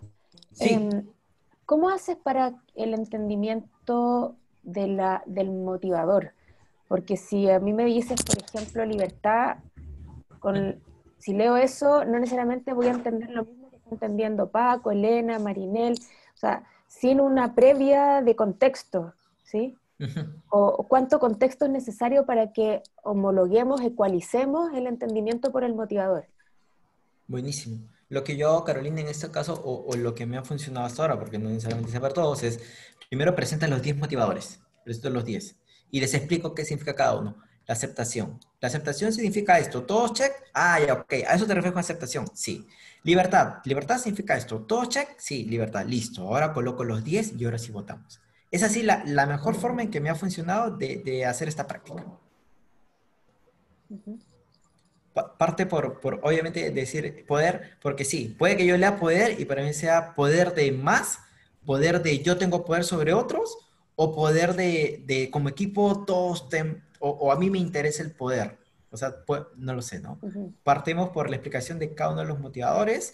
Eh, en la página está la, la, explicación de cada uno de ellos o la referencia. E igual, tú puedes adaptar estos motivadores a una explicación eh, equilibrada para que tu equipo lo entienda y cada uno eh, vaya en base a un mismo ritmo, ¿no? Es así como, como la, le ha aplicado Carolina y, y, y me ha ido bien. Me, las personas se han sentido cómodas con, los, con cada uno de los statements, con cada una de las, de las frases y en base a ello hemos podido hacer una votación más, este, más consciente. Uh -huh. okay. eh, ¿Alguien más que, que quiera compartir cómo, cómo ve que eso le puede ayudar? ¿Cómo cree que eso le puede servir? A mí me parece bárbaro como mapa. Perdón, es, Marinel.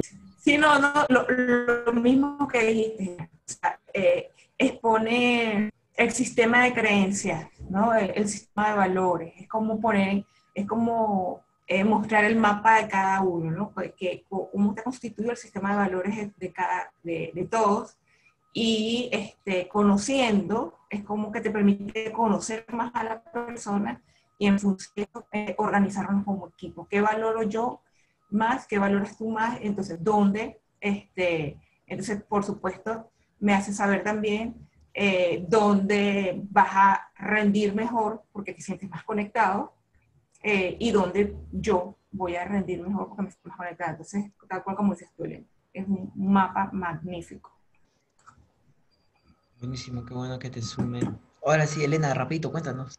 Algo de repente adicional, un pensamiento tuyo. Eh, no, lo que coincido con Marinel, de que de que acá no hay nada ni bien ni mal, por lo tanto es como la libertad de decir, bueno, si te motiva el poder, que en este grupo este, fue eh, algo puesto como en último lugar, bueno, no quiere decir ni que esté ni bien ni mal. Es este, nosotros, dadas las características que tenemos, seguramente coincidimos, pero puede ser que en una, en una organización no. Y, y bueno, está bueno eso como para, es un dato, es una información. Eh, y con esa información, bueno, este, de alguna manera manejarla para que se dé más armonía dentro de, un equipo. Porque en definitiva queremos que, todos estén, se sientan bien y que, que puedan este, manifestarse con su mejor versión, como decía. Entonces, si es el poder lo que, lo que te, motiva, bueno, serás, serás la persona indicada para estar en este equipo o, no, o, bueno, ¿qué hago con esa información para, armonizarlo a, esa persona en el equipo? Muchas gracias, Elena. Por ejemplo, ¿no? Acá Paco, como su motivador más importante, es la meta. De repente, Paco, algo repito que nos puedas comentar, ¿por qué el motivador sería la meta? Bueno, eh, estoy con lo que decía Carolina, de que hay que entender lo que significan las palabras. Yo, cuando puse en el chat, puse meta en tanto que propósito. Para mí es lo más importante. Lo más importante es, eh, tengo la suerte de que mi propósito evolutivo y el personal y el de la organización coinciden casi plenamente, entonces por eso es tan importante, ¿no? Coincido también con lo que decían tanto Elena como Marinel de que tienes un mapa muy interesante. Nunca había usado esta herramienta, he usado otras, he usado el Delegation Poker, he usado la matriz de competencias que la tienes ahí al lado, y, pero esta no la he usado nunca porque siempre he tenido la impresión de que a las personas, eh, bueno, de que en realidad esto, muchas de estas cosas son valores, y lo decía, por eso comparto lo que decía Marinel, que esto es, ves un sistema de valores y ves ese mapeo que decía, que decía Elena y ves, eh, bueno, no sé, yo veo, por ejemplo, el de Elena y veo que es muy coincidente con el mío y a lo mejor en lo que no somos coincidentes es porque no hemos entendido la palabra de la misma manera, pero y con otras personas veo que hay mucha coincidencia. Ese mapeo es muy interesante, pero eh, nunca he trabajado con la herramienta porque siempre he trabajado con valores. Siempre he trabajado con valores y he trabajado eh, diciendo cuáles son los cinco más importantes para mí y cuáles son los cinco no negociables.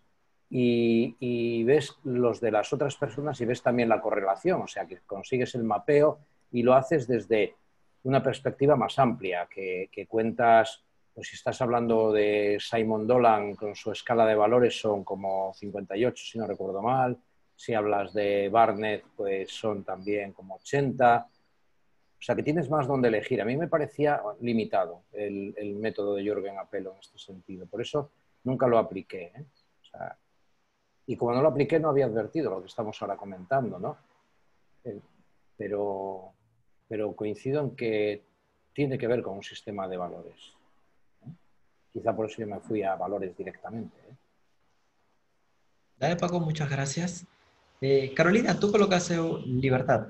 ¿Qué, ¿Qué, es lo que a ti te, traía ese motivador o qué es lo que te hizo reflexionar?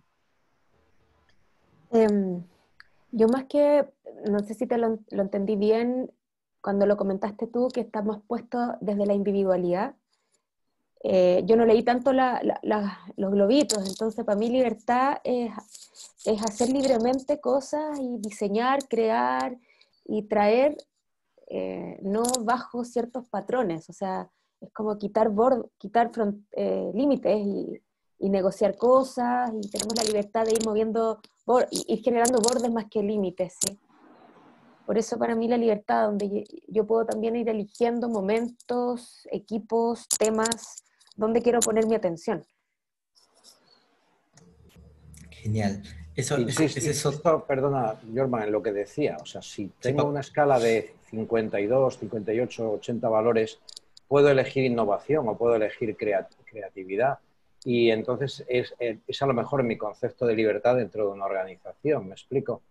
Porque yo puse valor 5, porque bueno, me gusta mucho ser libre, pero también en un equipo mi libertad acaba donde empieza la de la otra persona. Entonces, eh, no sé, sigo pensando, y no quiero con esto hackearte el taller. ¿eh? Sigo pensando que los valores son la parte más esencial de esto, pero que, que, bueno, y esto seguro que lo compartimos todos, o sea, el mundo no se acaba con Management 3.0, ni con TG Redes, ni con Teoría U, ni con, ni con Agile, ni con ninguna metodología, ¿no? O sea, al final cogemos, porque las, porque las herramientas son facilitadores, cogemos lo que nos viene más, más a cuento, ¿no? Estaba pensando en un taller que tengo que hacer, bueno, de hecho cuatro talleres que tengo que hacer en septiembre y que a lo mejor hasta me venía bien, fíjate, porque el tema de valores en ese contexto es como más largo, y más difícil en 40 personas ponerlas en común que participan en cuatro talleres. O sea que,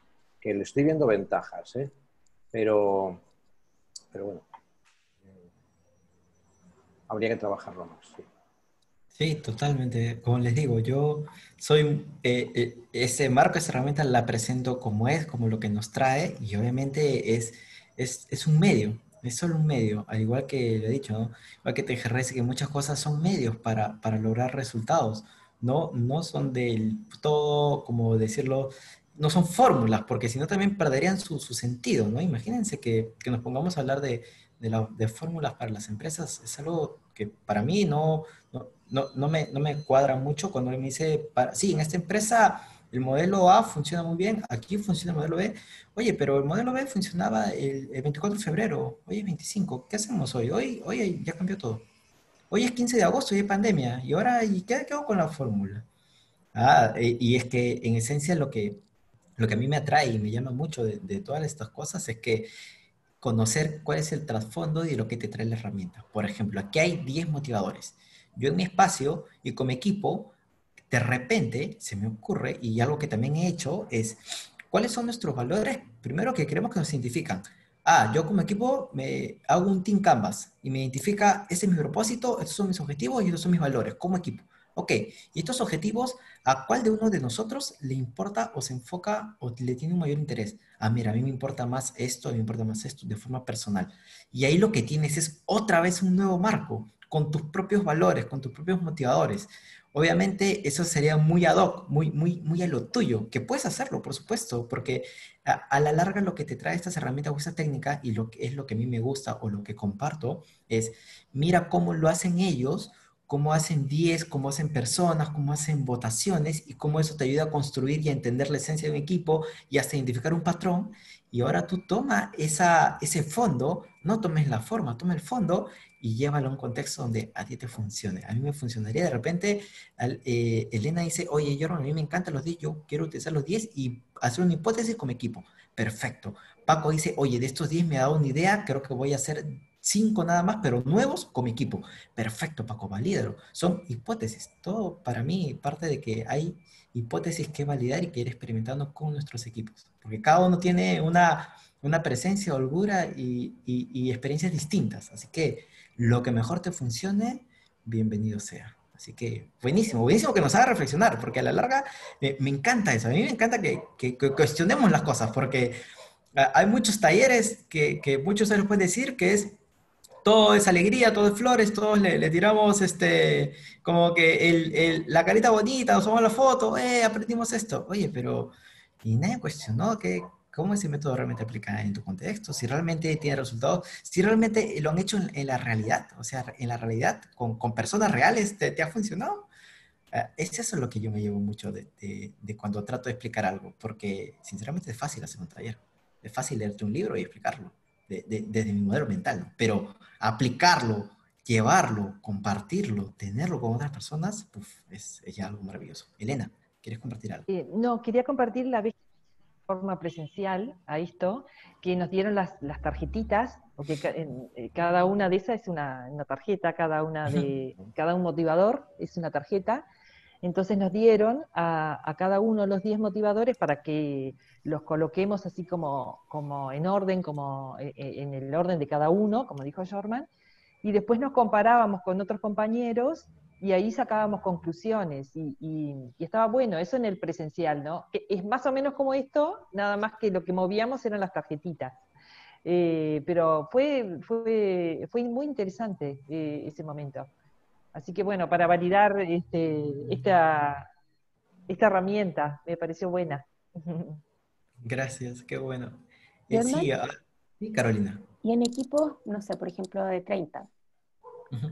30 personas, eh, ¿se recomienda hacer grupos? ¿Cómo, lo, ¿Cómo te ha resultado en la práctica como para abrir una conversación que entre 30 no se, no se hace muy buena online? Cuando tuve uno, uno grande con un equipo y lo primero que hicimos fue ver estas prácticas, o sea, cada uno de los motivadores y hacer este 1, 2, 4 todos. Ustedes conocen 1, 2, 4 todos de estructuras liberadoras. Entonces, lo que me funcionó fue que para que nadie se quede callado y sea muy aburrido, primero que ca- entre cada equipo vayan compartiendo, ¿no? Cuatro, cuatro, cuatro, y entre ellos compartían, compartían, y ya, quedamos como que en una sola maqueta entre todos dijimos, ok, eso es lo que nos representa como equipo. Y como de forma personal, ya cada uno de, mencionaba tus tres más importantes. No mencionaba los diez, porque se- yo, yo sabía que eso iba a ser una, una volada, así que fue como equipo, ¿qué es lo más importante para nosotros? Y cada uno de forma personal, ¿cuáles son tus tres más importantes? Ah, ya, para Jorman, a mí yo, yo voy a siempre matar por, o, o a mí me encanta eh, la libertad, la curiosidad y la meta. Jorman, eso, eso siempre, a mí dame esas tareas, esos trabajos, y yo soy feliz. A mí dame trabajos, pero dame libertad. Yo tranquilo avanzo, obviamente te voy a dar un resultado en base a lo que queremos. Ah, ok. Y como equipo, ¿cuál, ¿qué es lo que nos funcionaba? Era un equipo de, no eran 30, eran 20 personas, el 1, 2, 4, todos. Ah, entre todos quedaron al final de que lo que más les representaba a ellos era este, para este equipo era la- el orden, era el orden. Dijeron, yo sin orden no hay nada. Sí, entre ellos era como que dijeron, yo sin orden, no, nada, tiene que haber orden primero. Perfecto, si este equipo dice que es el orden, el orden representa. Entonces, y era cierto, realmente eran muy ordenados, tenían todo en una wiki, tenía, o sea, había cosas muy... Pero eso salió de ellos. Y después sus tres más importantes, que es como que vas adaptando la herramienta a, a cómo te ayudas de la información para, para personas, ¿no? Y, algo que quiero hacer un, hincapié y que, y que también es un punto importante es esto de acá te puede funcionar bien al inicio cuando son personas que no tienen ni siquiera idea o no han compartido en ningún momento espacios co-creados, espacios donde cuáles son sus valores. O sea, con equipos que no tienen absolutamente nada, te funciona muy bien como punto de partida. Conforme vas avanzando, sí puede que llegues a cuestionar más cosas, más cosas, y ahí vas a tener que adaptarlo o crear tu propio escala, ¿no? Ese, es un, buen punto que, que, que ustedes trajeron y que me hacen recordar. Entonces, para sintetizar esta herramienta, eh, cuando tengamos equipos que no tienen mucho conocimiento o no han tenido una, un- una co-creación de valores, no tienen ni siquiera un Team Canvas donde hay un propósito, objetivos, ayúdalos a que con esto partas. Porque esto al toque te visibiliza cosas que las personas están trayendo. Y ya vas como que metiéndole un ritmo a la co-creación. Luego, explica claro, obviamente, qué significa cada una de las tarjetitas o qué es lo que tú quieres como equipo definir en cada tarjeta. Relaciones, poder, maestría. Luego, haz que cada uno de ellos se exprese. Porque aquí escuchas la voz de todos. Y como ven, en el panel está, vemos a Elena, vemos a Marinel, Paco, Carolina. Ah, voy viendo qué le gusta, qué, cuál es su motivación, cómo yo puedo ayudar a hacer crecer. Ahí nos decían las meses anteriores, ¿no? El rol de, de la gerencia, el rol de, del líder, es cómo ayudas a que esas personas se desarrollen pero para ayudarlas hay que entenderlas, hay que escucharlas. Y también puedes ver al final de forma holística un patrón, ¿no? De que, oye, ok, este equipo, veo que tenemos más foco en esto. De repente tú vas a otra área, a otro equipo, y en el área de finanzas, sus motivatos son totalmente distintos. Y dices, ah, mira, a ellos les gusta más el reconocimiento, ven más la honra como algo importante. De repente a ellos hacer este, un Kudocar es lo que más les gustaría, que una vez al mes al menos haya un, eh, el, el, no sé, el mayor logro. Entonces, ves que hay cada característica en un equipo, pero a la larga la herramienta solo es un habilitador para transparentar información. Y, y eso es lo, para mí lo, una de las cosas más valiosas. Eso es, eso es, eso es con los muy motivados. Entonces ya experimentamos un poquito, ya, ya cuestionamos la herramienta, ya aprendimos de la herramienta y ya tenemos un feeling al menos de cómo podría llevarme esto, o al menos estas, eh, la composición de la herramienta para cómo yo la aplique en mi espacio. Y si tengo equipos muy nuevos, apóyate de esto, que, seguro que te va a dar información importante para seguir co-creando y creando nuevas herramientas. ¿sí? Chicos, son más de las nueve y nosotros podríamos seguir acá seguro sin darnos cuenta, tranquilos. Yo todavía tengo hasta las nueve y media. Bueno, en Perú sería, claro, nueve y media de la mañana. Ustedes cerramos con eh, 21 minutos más o 20 minutos más para cerrar bien esto de aquí, esta explicación? ¿O, o qué es lo que me comentan? ¿O, o nos vamos, ya cerramos una vez, doy un, un pitch final y, y nos vamos? ¿Qué dicen? Eh, ¿Existe la posibilidad de aprender alguna otra herramienta? Sí, de hecho justo tengo explicación de, justo versioné estas cuatro que me parecen a mí como que la, la de un mayor resalte y que las puedo explicar rápidamente. Y eso, ¿no? el resto de los compañeros, ¿qué dice? Sí, sí, esa es una de Elena. Sí. Carolina Dachak, Marina Elchak, Franklin, Ingrid. Sí, sí, sí. Este, Perfecto. explícala. Dale, genial. Entonces, este de acá es algo que nos comentó justo hace un rato Paco, que es el Delegation Poker, ¿no? El Delegation Poker te ayuda mucho, también como ven acá están sus cartitas, estas son las cartillas, que, que se trata de cómo en un equipo, qué cosas vamos a delegar, qué cosas vamos a preguntar, qué cosas aconsejamos, qué cosas acordamos como equipo, qué cosas consultamos, qué cosas hay que venderle al equipo o qué cosas hay que decir. Es decir, quién toma la decisión, quién, eh, esta, esta personita con esta gorrita eh, DM es del manager. Es como que el gerente dice, ok, para las vacaciones yo lo voy a decidir, yo se los diré a ustedes. Ah, ok, genial. Eh, en horarios flexibles, yo se lo voy a consultar al equipo y luego, y luego decidiré, pero él aún decide, si se dan cuenta, es, y luego decidiré. Este es el manager y este es el equipo, ¿no? Entonces, en horarios flexibles, imagínense, voy a mover eso por acá, es o un- una recapitulación. En vacaciones, el manager dice cuándo son las vacaciones. Él decide, ¿sabes qué? Vacaciones solo podemos tomar en enero, así que ya vemos cómo nos organizamos, pero en enero solo toman vacaciones. Ah, ok. Este es eh, un delegation board de, de un equipo X. En horarios flexibles, sí lo, el manager dice, lo voy a consultar, pero luego yo decido. Ojo, horarios flexibles, yo consulto, pero yo decido. Para las reuniones, para quién invitamos o para cómo nos organizamos, eh, el equipo decide que eso se va a acordar. Dice, oye, ¿sabes qué? Cuando haya reuniones hay que acordar quién tiene que estar y quién no, porque puede ser que alguien sume o alguien tenga mayor información y no todo lo va a decir el, el jefe, el gerente, sino ponte, Juanito, Pepito van a ser eh, también los que participen en estas reuniones porque tienen un punto de vista importante, un, pensamiento sistémico distinto, X cosas. Los valores, ¿cómo decimos los valores de nuestro equipo? Ah, yo, yo como manager voy a aconsejarlo, pero el equipo va a decidir cuáles son sus valores. Ah, ok, por eso se dan cuenta acá, la cara de esta personita pasa a ser como que más adelante, ¿no? Preguntar. En, en las métricas, las métricas del equipo, las métricas de cómo medimos nuestro trabajo, decidimos que el manager va a preguntar, yo le preguntaré al equipo después de que ellos decidan. Entonces, primero, el equipo decide y luego el, mana- el manager lo que va a hacer es preguntarles, ¿no? Ok, chicos, ¿por qué decidieron esto? ¿Cómo decidieron esto? ¿En qué basan esto? Ah, en ABC cosas. Perfecto. O podemos acá poner una nueva... ¿Qué se les ocurre de algo que sucede en los equipos? Ahí tenemos vacaciones, flexibles, reuniones, valores. Algo que, que se les venga a la mente que, que esté en una decisión de un equipo. Celebración. Celebraciones. Vamos a poner celebraciones. Celebraciones. De repente, lo que sucede en celebraciones es que el manager eh, lo delega completamente al equipo. Chicos, ustedes decidan cuándo van a celebrar. Yo no me meto. Si ustedes quieren celebrar el viernes, celebren los viernes todos sus logros de lunes a viernes. Si celebran una vez a la semana, una vez a la quincena, perfecto. Ok. Oye, cuando tenemos, no sé, retrospectivas, estos espacios donde como equipo nos alineamos y nos ayudamos.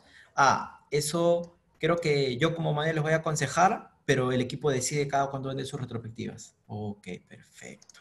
Entonces, ¿en qué te ayuda ese Delegation Poker? Ah, en base a esta escala del 1 al 7 de yo como manager, yo les digo qué hacer, yo como man- manager voy a vender o intentaré vender al equipo alguna idea o alguna tarea, yo voy a acordar con el equipo, es, tengo arriba mis cartitas del 1 al 7 y abajo todos los tópicos que yo voy a permitir que entren en esta decisión de equipo. Entonces, ponte, yo tengo vacaciones. Puede ser que en el equipo de Marinel diga, eh, no, en las vacaciones las vamos a acordar juntos. O entre en una negociación y si saben qué, no, no me gustaría que, que tú, este Paco, decidas cuáles son, que solo en enero vamos a tomar vacaciones porque creo que nos gustaría también tener esto. Y Paco dice, ok, perfecto. Entonces, lo que vamos a hacer es, dejemos que nuestras vacaciones las vamos a acordar. Entonces, definimos un día, un espacio, y el viernes por la tarde definimos cuáles son nuestras vacaciones y como equipo la acordamos. Perfecto. Oye, horario flexible, ¿cómo hacemos? ¿sabes qué? En horario flexible lo que vamos a hacer es, yo les aconsejaré en base a los retos que tenemos como equipo, yo aconsejaré en base a todo lo que está sucediendo dentro de la empresa, pero ustedes deciden. ¿Está bien? Ok, perfecto. Entonces en horarios flexibles, lo que va a pasar es que yo como manera aconsejo, pero el equipo decide. Entonces este Delegation Board te ayuda a ver cuáles son los temas y qué personas, porque acá también lo que puedes hacer es colocar el nombre de la persona, colocar un avatar, ya tú, que, que ahí va a fluir la creatividad, pero es qué cosas dentro del equipo las decide una persona, qué cosas se delegan, qué cosas se acuerdan, qué cosas se consultan, cuáles se preguntan en base a un eje de, de temas, ¿no? Temas importantes, vacaciones, reuniones, celebraciones, retrospectivas, métricas, eh, presentaciones ejecutivas, no lo sé, va a depender del contexto del equipo, qué cosas entrarían en este panel. Y lo que te ayude es a visibilizar y a co-crear con el equipo cómo tomas las decisiones. ¿Qué les parece? ¿Qué, qué, les trae esto? ¿Qué, ¿En qué les suma? Es como construir el marco de trabajo juntos. Está genial. Ajá, es como que tu modelo, mini modelo operativo, lo decides quién, quiénes van a tomar algunas ciertas decisiones, ¿no? Y da claridad, ¿verdad? Da, claridad que creo que es algo que es muy, muy valioso en el equipo. Sí, algo que me gusta mucho y creo que también traía ese momento Paco, es que obviamente esto otra vez lo que te hace, ah, Elena también lo dijo hace un rato, holísticamente es un vistazo es un vistazo rápido de decir qué cosas entran en decisión, cuáles se delegan. Y, eso trata el empoderamiento. El empoderamiento no trata de, solo darle poder, sino ayudar a esa persona a que pueda ver en qué cosas podemos decidir y cuáles de repente tienen un tema más estratégico por ahora en qué cosas de repente también no estamos preparados para delegar. Y ahí también entra la cuestión, ¿no? ¿Y por qué no podemos delegarlo? Ah, ok, ahí hay otro trabajo. Depende de, de dónde mires tantas cositas puedes sacar de una sola herramienta. Eh, ¿Qué más? ¿Alguien más rápidamente que nos comente? A mí me gusta mucho la herramienta y de hecho la he, usado desde que la conozco de una manera prolija, porque la, la, primera cosa que consigue es romper el esquema mental que tenemos las personas que está asociado a nuestro estilo de liderazgo y que creemos que delegar, delegamos de una manera, la que va con nuestro estilo. Y aquí nos está diciendo Jürgen Apelo, hay siete maneras de delegar, que además, igual que antes me parecía estrecho, no veo más maneras que estas siete. Nunca he encontrado más maneras y funciona muy bien con estas siete cartas. La segunda cosa, el, ejemplo que has traído es muy bueno y está en sentido prospectivo. ¿Cómo vamos a hacer las vacaciones? ¿Cómo haremos las métricas? ¿Qué es lo que decía Marinel? ¿Cómo nos vamos a organizar como equipo? ¿Cómo, ¿Quién decide cómo conciliamos o lo que sea? pero yo lo he practicado también en un sentido retrospectivo. Vamos a ver qué cosas hemos hecho el último mes y vamos a ver cómo podríamos haberlas hecho mejor. O sea, se han hecho desde la jerarquía, se han hecho desde vendernos la moto, se han hecho desde... ¿Desde dónde se han hecho? Eh? Y esto le ha dado mucho, mucho feedback al líder del equipo para ver qué cosas la gente no está conforme con de qué manera delega. Y me, ha parecido también muy poderoso cuando lo hemos practicado así. Muchas gracias, Paco. Paco me, me, me hecho, recordar algo de, justo de, la vida real, donde, donde, queman las papas. Y era un, un, un gerente que decía, no, yo no tengo tiempo. Sí, no tengo tiempo para nada, pues estoy muy ocupado. A ver, ¿y, y por qué decimos? ¿Puedes mostrarnos tu agenda? Sí, su agenda todo, ¿no? Rojo, rojo, rojo, verde, verde, Decíamos, ah, entonces tú te encargas de todas las lecciones del equipo, ¿sí? ¿Y, ¿Y cuándo aprende el equipo? ¿Cuándo desarrollan ellos sus capacidades de poder? ¿Tú, ¿Tú quieres que tu equipo sea autónomo? ¿Tú quieres que tu equipo sea autoorganizado? Sí, sí, es lo que busco. ¿Y por qué no les permites al equipo que tome decisiones también? No, pero es que, y, y mi rol, o sea, y algo que nos comentaba era, y, y mi rol, yo soy el que debe tomar decisiones. Y le decimos, no, tú no eres el que debe tomar decisiones por más que esto te cueste, igual, felizmente nosotros somos externos y lo que venimos a decirte es aquello que tú no quieres escuchar. Y es que tú no tienes que tomar las decisiones. Las decisiones las puede tomar cualquier persona del equipo. Lo que tú tienes que hacer es ayudar a que el equipo tome buenas decisiones. Eso es distinto.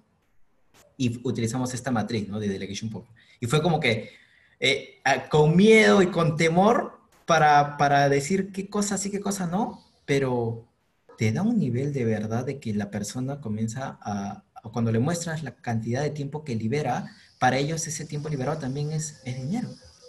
Porque todo ese tiempo que libera pasas a dejar de ocuparte en 10 cosas a limitar tu trabajo en progreso. Y mientras más limitas tu trabajo en progreso, mientras más cosas empiezas a terminar, más rápido comienzas a avanzar. Parece esto una, una paradoja, pero, pero es totalmente cierto.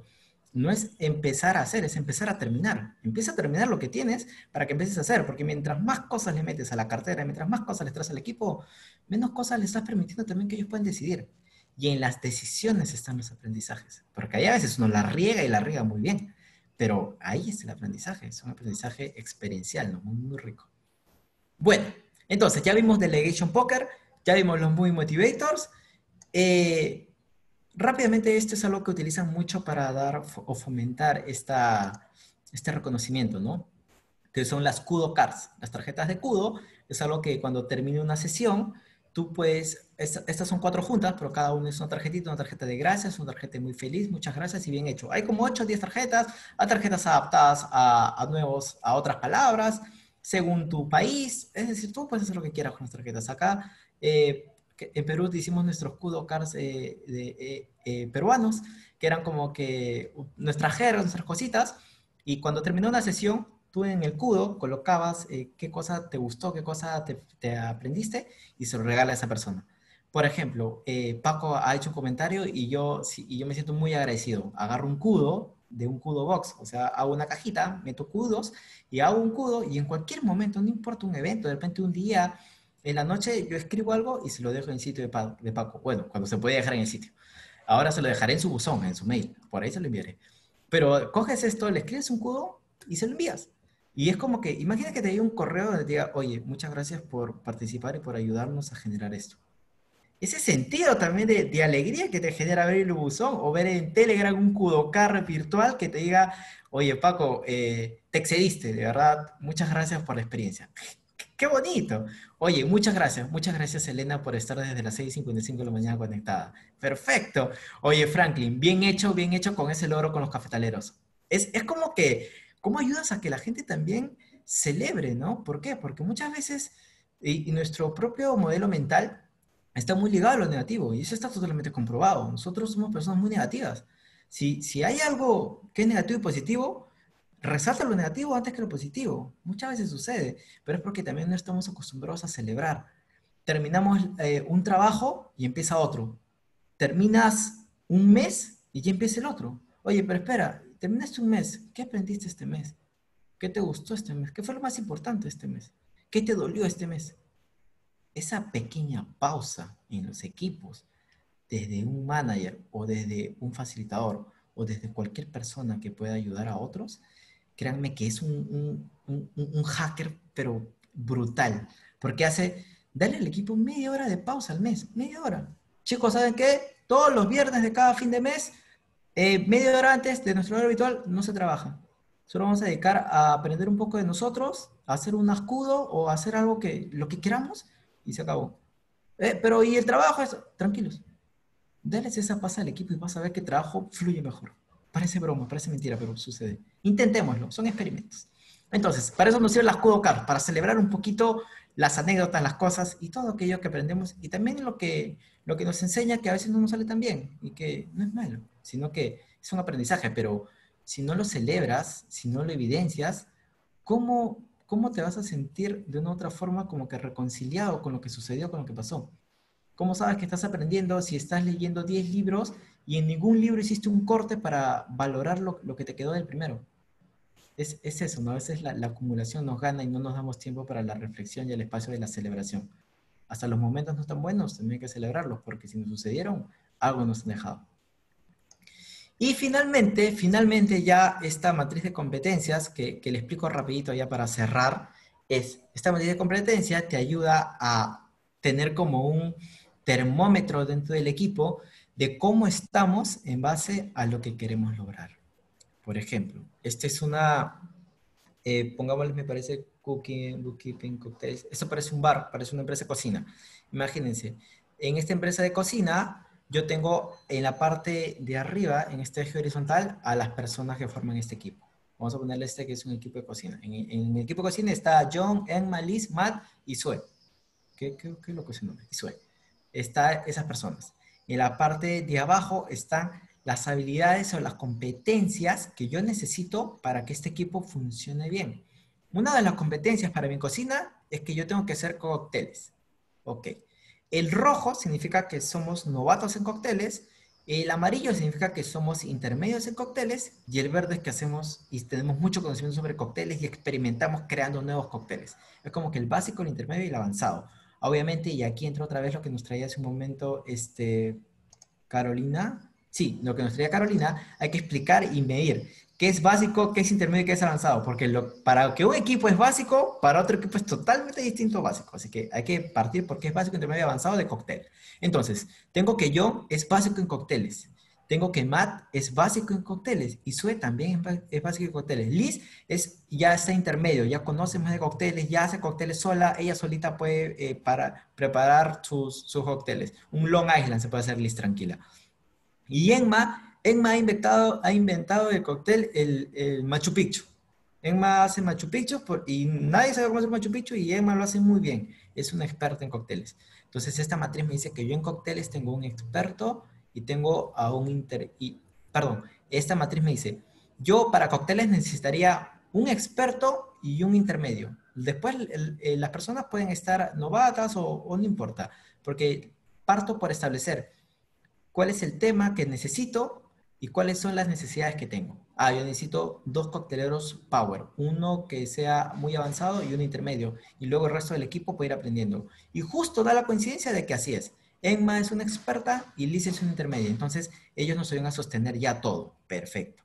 En un equipo mm, convencional, por ejemplo, un equipo de, no sé, un, equipo de, contabilidad, me invento, la primera parte dice eh, balance general.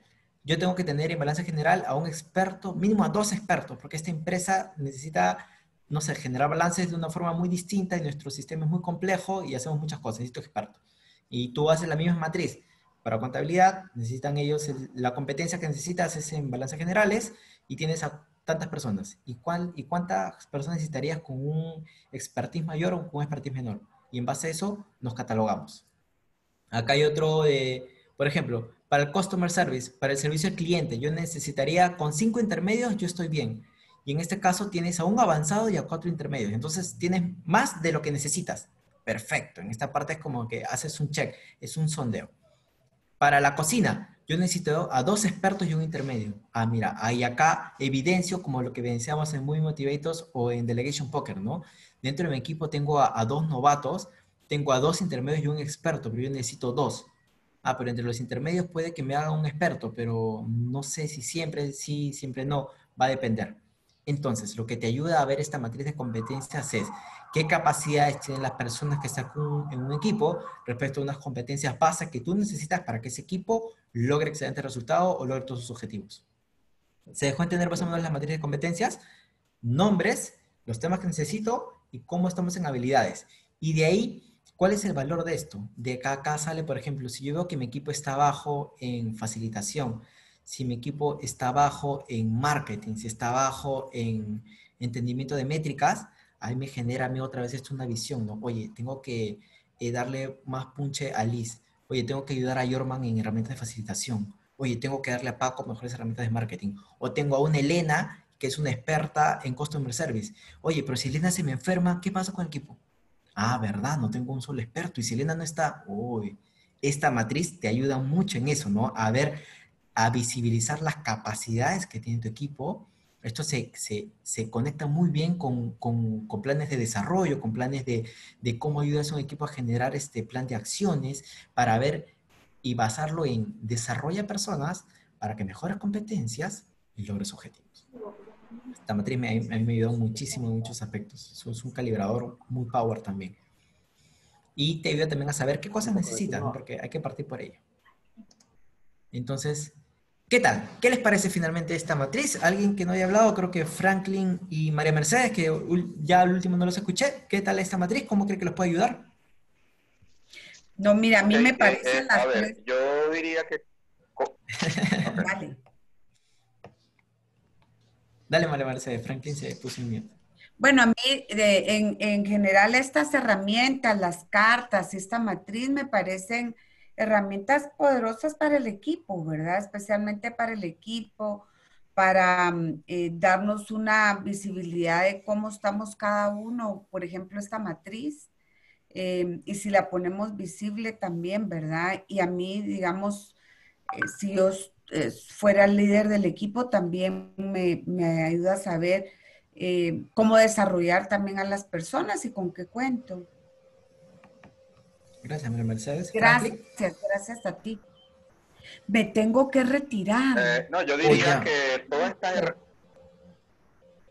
Sí, dale, dale Franklin, que ahorita María Mercedes no. Entonces ya, María Mercedes, muchas gracias. Cuídate mucho. A ti, muchas todas estas herramientas me parecen bien adecuadas, pero eh, siempre y cuando eh, se haga un uso racional de ella y por supuesto que haya una constante evaluación de la efectividad de las mismas. Por ejemplo, eh, cada seis meses vamos a revisar la matriz de competencia para ver eh, las personas si pasaron a tener el nivel de, experto o por decir el, el ejemplo que tú utilizabas, si ya en el equipo de contabilidad ya hay muchas más personas que tan experta en el área de balance, ¿no? Igualmente eh, eh, en la delegación de, de, poder, que yo le llamo, que siempre hay ese temor, pero evaluemos en seis meses a ver cómo estaba esa matriz que hicimos eh, inicialmente, cuáles han sido los resultados y debemos a ver qué podemos ir cambiando para flexibilizar esa, esas competencias. O sea, todas las matrices me parecen excelentes pero que no puedan ser una camisa de fuerza, sino que, que haya que estarlas evaluando permanentemente. Totalmente, Franklin, muchas gracias. Sí, de toda matriz, a mí también me parece que haces una matriz y si no cierra un plan de acción, queda en nada. Y ese plan de acción, luego, ¿cuál es la recurrencia? ¿No? Termina, ¿hasta cuándo vamos a ver ese plan de acción? ¿Un trimestre? ¿Un semestre? Ok, y luego otra nuestra matriz para como que revivir, ¿no? ¿Cómo estamos desde un punto de partida hacia un nuevo estado B un estadio, eh, por decirlo, con mayor experiencia y mayor aprendizaje. Y poco a poco a ir, de eso se trata estos feedback, de, estos feedback loops de mucho, eh, yo hago algo, experimento un tiempo, pero tengo que medir los resultados, aunque a veces no está funcionando, porque si no me funciona, hay que mejorarlo, hay que cambiarlo. ¿sí?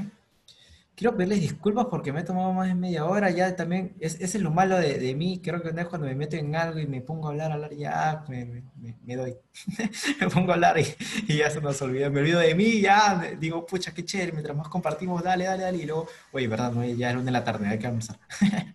Así que, nada, eh, hagamos rápidamente un, un checkout de, de, de dos cositas, uno, ¿qué aprendiste? Y dos, ¿qué te llevas? Así que se la paso a, Ingrid para que empiece. Ingrid, ¿qué aprendiste? ¿Qué te llevas? Y luego se la pasas a otra persona, por favor. Eh, aprendí que eh, puede ser muy, eh, que debe haber bastante plasticidad en el trabajo, es decir, ser muy flexible. Que no está todo inventado, que debe ser más enfocado a lo humano, eh, que con base en la información que nos estás dando, podemos organizar nuestras metas de acuerdo a lo que yo necesite en el trabajo, en mi proyecto, en mi empresa. Es decir, si lo que quiero son eh, ventas, voy a poner a los que tienen más necesidad de, de poder si lo que quiero es algo más enfocado a lo humano, a lo social, ah, bueno, pues me voy con los que tienen menor marcada esta necesidad, ¿no? Eh, los que quieren más enfocados a la curiosidad, etcétera. Entonces, eh, repito, hay que ser más eh, flexibles, ¿no? Y, y, no estar casados necesariamente ni con el sistema vertical y a lo mejor tampoco es tan eh, necesario o tan funcional el sistema horizontal. Gracias, creo que eso es todo. ¿A quién se lo pasas para poder escuchar qué aprendió y qué se ah, Yo se lo paso a, a, que, mm, déjame ver los nombres, a, a mi compañero a Elena. Ok. Elena, ¿qué aprendiste y qué te llevas? Bueno, me aprendí un montón de herramientas que las había visto así medio como al pasar, me llevo como la posibilidad de, de poder aplicarlas con, como concretamente y súper agradecida, especialmente a ti, Jorman, y a todos los compañeros que, agregaron un montón de cosas y que se prestaron para estar todo este tiempo compartiendo y tan lindo. Así que gracias a todos. ¿A quién se lo pasas, Elena? Y se lo paso a Paco. Bueno, yo aprendí muchas cosas, muchas, muchas. La primera, en orden cronológico, fue que, que Elena coincide también en esto conmigo, que las soft skills las llama habilidades esenciales. Bien por eso, bien por eso. ¿eh? Y tengo mucho interés en eso. ¿eh? Eh, después, bueno, he aprendido de, todos. No sabía que Venezuela tenía café y me congratula y me gusta mucho y además me encantan los cafés de altura más afrutados y esto ahí tiene que ser increíble. Eh, muchas cosas, muchas cosas. Eh, con lo que más me quedo, ¿eh? para no alargarme, bueno, es con la calidad humana y con los conocimientos de todos y cómo nos, nos unen el- la práctica que hemos hecho nos ha visto eh, ese mapeo que, que hay unas coincidencias tremendas más allá de esa mm, cuestión de semántica, ¿eh? de cómo hemos entendido libertad, o hemos entendido, pero las mismas cosas. Eh, me encantaría pensar que es que esto es, son verdades esenciales que, que nos unen a los humanos y, estoy seguro que nos unen al 80% de los humanos, que nosotros representamos más a los humanos que Trump y compañía, ¿eh? ¿vale?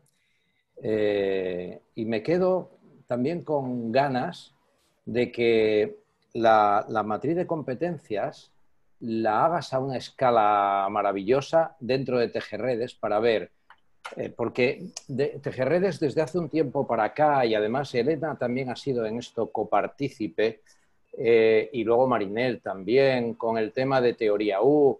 Eh, al principio, y, y abunda sobre lo que decía antes, que no hay un solo método ni un solo sistema. O sea, a mí me gusta por lo holístico teoría U, pero ah, hay herramientas de teoría U que nunca he encontrado la ocasión para, para aplicarlas, ¿no?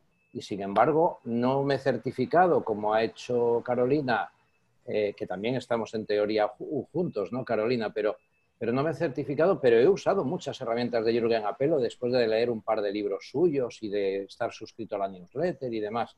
Entonces, eh, empezamos con teoría U, después pasó lo del otro día mmm, que hicimos el taller, porque surgió espontáneamente, talleres online, donde además, pues, pues Jormen aportó una barbaridad y, y yo aprendí también, y, y ahí tenemos esa, esa infografía para, para, que se quede para todas nosotras y, y, la pulamos un poco mejor. Yo voy a meter un par de cosas y volveré a actualizar, pero creo que también podríamos hacer esto.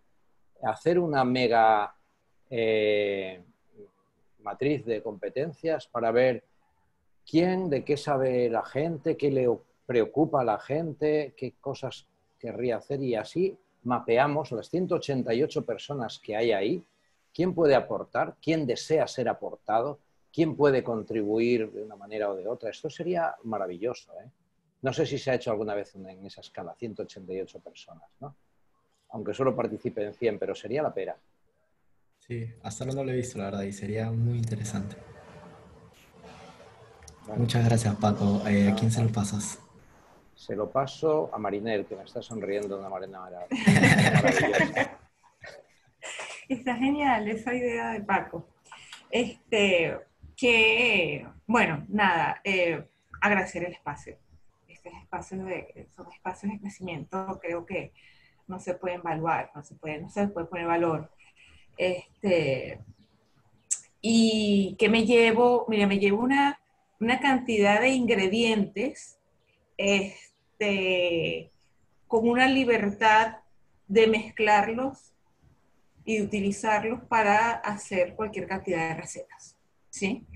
eh, la, la, flexibilidad quizás con la que mostramos, mostraste y todos colaboraron a cómo se pueden aplicar, cómo se pueden em, mezclar las, eh, este, pues te da, o sea, las, multiplica. Fueron cuatro, pero si tú ves cómo las puedes utilizar, se te transforman como en ocho, en doce herramientas. Entonces, este, y si hacemos lo que dice Paco con la matriz, yo no me imagino lo que, lo que podemos construir. Entonces, este, muchísimas gracias. Muchísimas gracias por el espacio, por sus contribuciones y por su tiempo. Y Paco, vamos por eso. Yo creo que sería increíble intentar este, hacer esa matriz. ¿Se lo pasas a Marina? Carolina. Em, a ver, estoy súper sorprendida de las horas que han pasado, lo entretenida que he estado. Eh, al fin me aprendo algo que entiendo y te agradezco, Jorman, tu claridad, porque a pesar de que hice la certificación del, del Foundation, no logré entender la matriz de competencias, la columna de eh, lo que necesito. No, no, logré entenderlo y tú en menos de cinco minutos, ¡pum!, cae. Así que te lo agradezco un montón y, y, me llevo, eh, me gustó mucho cómo Paco le da la vuelta. Es como, me gusta ese término que tienen ustedes de darle la vuelta a la tortilla. Encuentro que con la matriz de, o sea, con el delegation, delegation poker, que le dio la vuelta y cambió la pregunta y, invitó a otra reflexión, me inspira, me, me, me, llevo ideas para aplicar en un desafío que estoy haciendo con una empresa, así que muchas gracias. Y eh, Ay, Franklin. Sí, solo Franklin. Gracias, Carolina. Ok, bueno, yo de aprendizaje, eh, esto me, reafirma lo que siempre he dicho. Eh, hay organizaciones, empresas que quieren cambiar, pero entonces eh, empiezan como a, a preguntarse qué, qué, metodología utilizar, qué sé yo, pero no están conscientes de qué es realmente lo que quieren. Entonces, generalmente no, me ha pasado, nos contrata, por ejemplo, recursos humanos, eh, pero entonces la gerencia general no está de acuerdo y entonces todo lo que se haga desde allí a veces hay más bien un boicot, ¿no? Entonces no, no, no funciona. Entonces, para que estas cosas funcionen, la organización desde el dueño tiene que estar convencido de realmente cambios significativos. Y me llevo todas estas series de herramientas, de metodología que se pueden utilizar y que, como lo dije anteriormente, si uno las va adaptando y las va evaluando, no son una camisa de fuerza, sino todo lo contrario. Se adaptan, son flexibles y se puede sacar mucho provecho de cada una de ellas. Muchas gracias a todos, la verdad. ¿no? Eh, gracias por, por, su tiempo, por, por estar presentes es, muy bonito cuando ves a los ojos de cada una de las personas y sabes que nadie está distraído, nadie está en un celular. Y a pesar que estamos y pudiésemos hacerlo, no lo hacemos porque nos está gustando. Y, y eso es algo de, de, lo que a mí me encanta cuando son como que más o menos equipos pequeños porque puedes hacer participar a todos. O sea, y discúlpeme, pero yo sí por tu nombre te voy a decir qué piensas tú, qué piensas Carolina, qué piensas Marinel, qué piensa Elena, porque, porque eso es muy rico. Haces en un taller conexión y eso es una cosa que, que a veces se pierde cuando alguien da un taller y, y, habla y habla y es como que qué bonito, qué bonito. Oye, sí, esa persona sabe mucho, mucho, pero, pero no importa el que enseña, importa lo que aprenden. El que, el que enseña ya sabe. Lo que tienen que aprender son los que vinieron al espacio. Y, y listo, qué bueno que les haya servido. Eh, yo justo ahorita ya, ya a las 10 de la mañana tengo, tengo un taller, ahora, ahora a mí me van a enseñar algo, así que eh, quiero agradecerles porque ustedes me han enseñado bastante también, la verdad. Yo, todo, eh, la mirada del eterno aprendiz es, es, increíble. Cuando uno está abierto a, a, escuchar, aprende más de lo que cree. Y, algo clave de lo que me lleve todos ustedes y, de, de, Paco, gracias Paco, porque de verdad que le suma muchísimo a, a, a, dar, la vuelta a la tortilla y eso me encanta. A mí me encanta que, que no estemos de acuerdo, ¿no? la gente inconforme. Voy la, ya cuando abra me voy a ir a, visitarlos algún día desde Perú. Yo creo que algún día tenemos que hacer eso y espero que así sea muchas gracias a todos, ¿verdad? Espero que les haya servido y luego le voy a compartir la página de Management 3.0 como le digo, esto está en la página. Obviamente ya las experiencias vienen ya de, de, del hacer, ¿no? Pero, pero de ahí les comparto esas cositas. Y muchas gracias. Tengan un bonito día a, todos. Gracias. Muchas gracias. Cuídense Gracias, mucho. Hasta pronto. Hasta luego. Gracias, Elena. Gracias, Germán. Yorma, eh, espero que asumas el reto de Paco de hacer la matriz Sí, sí, para, para el grupo. Yo creo que Voy- eso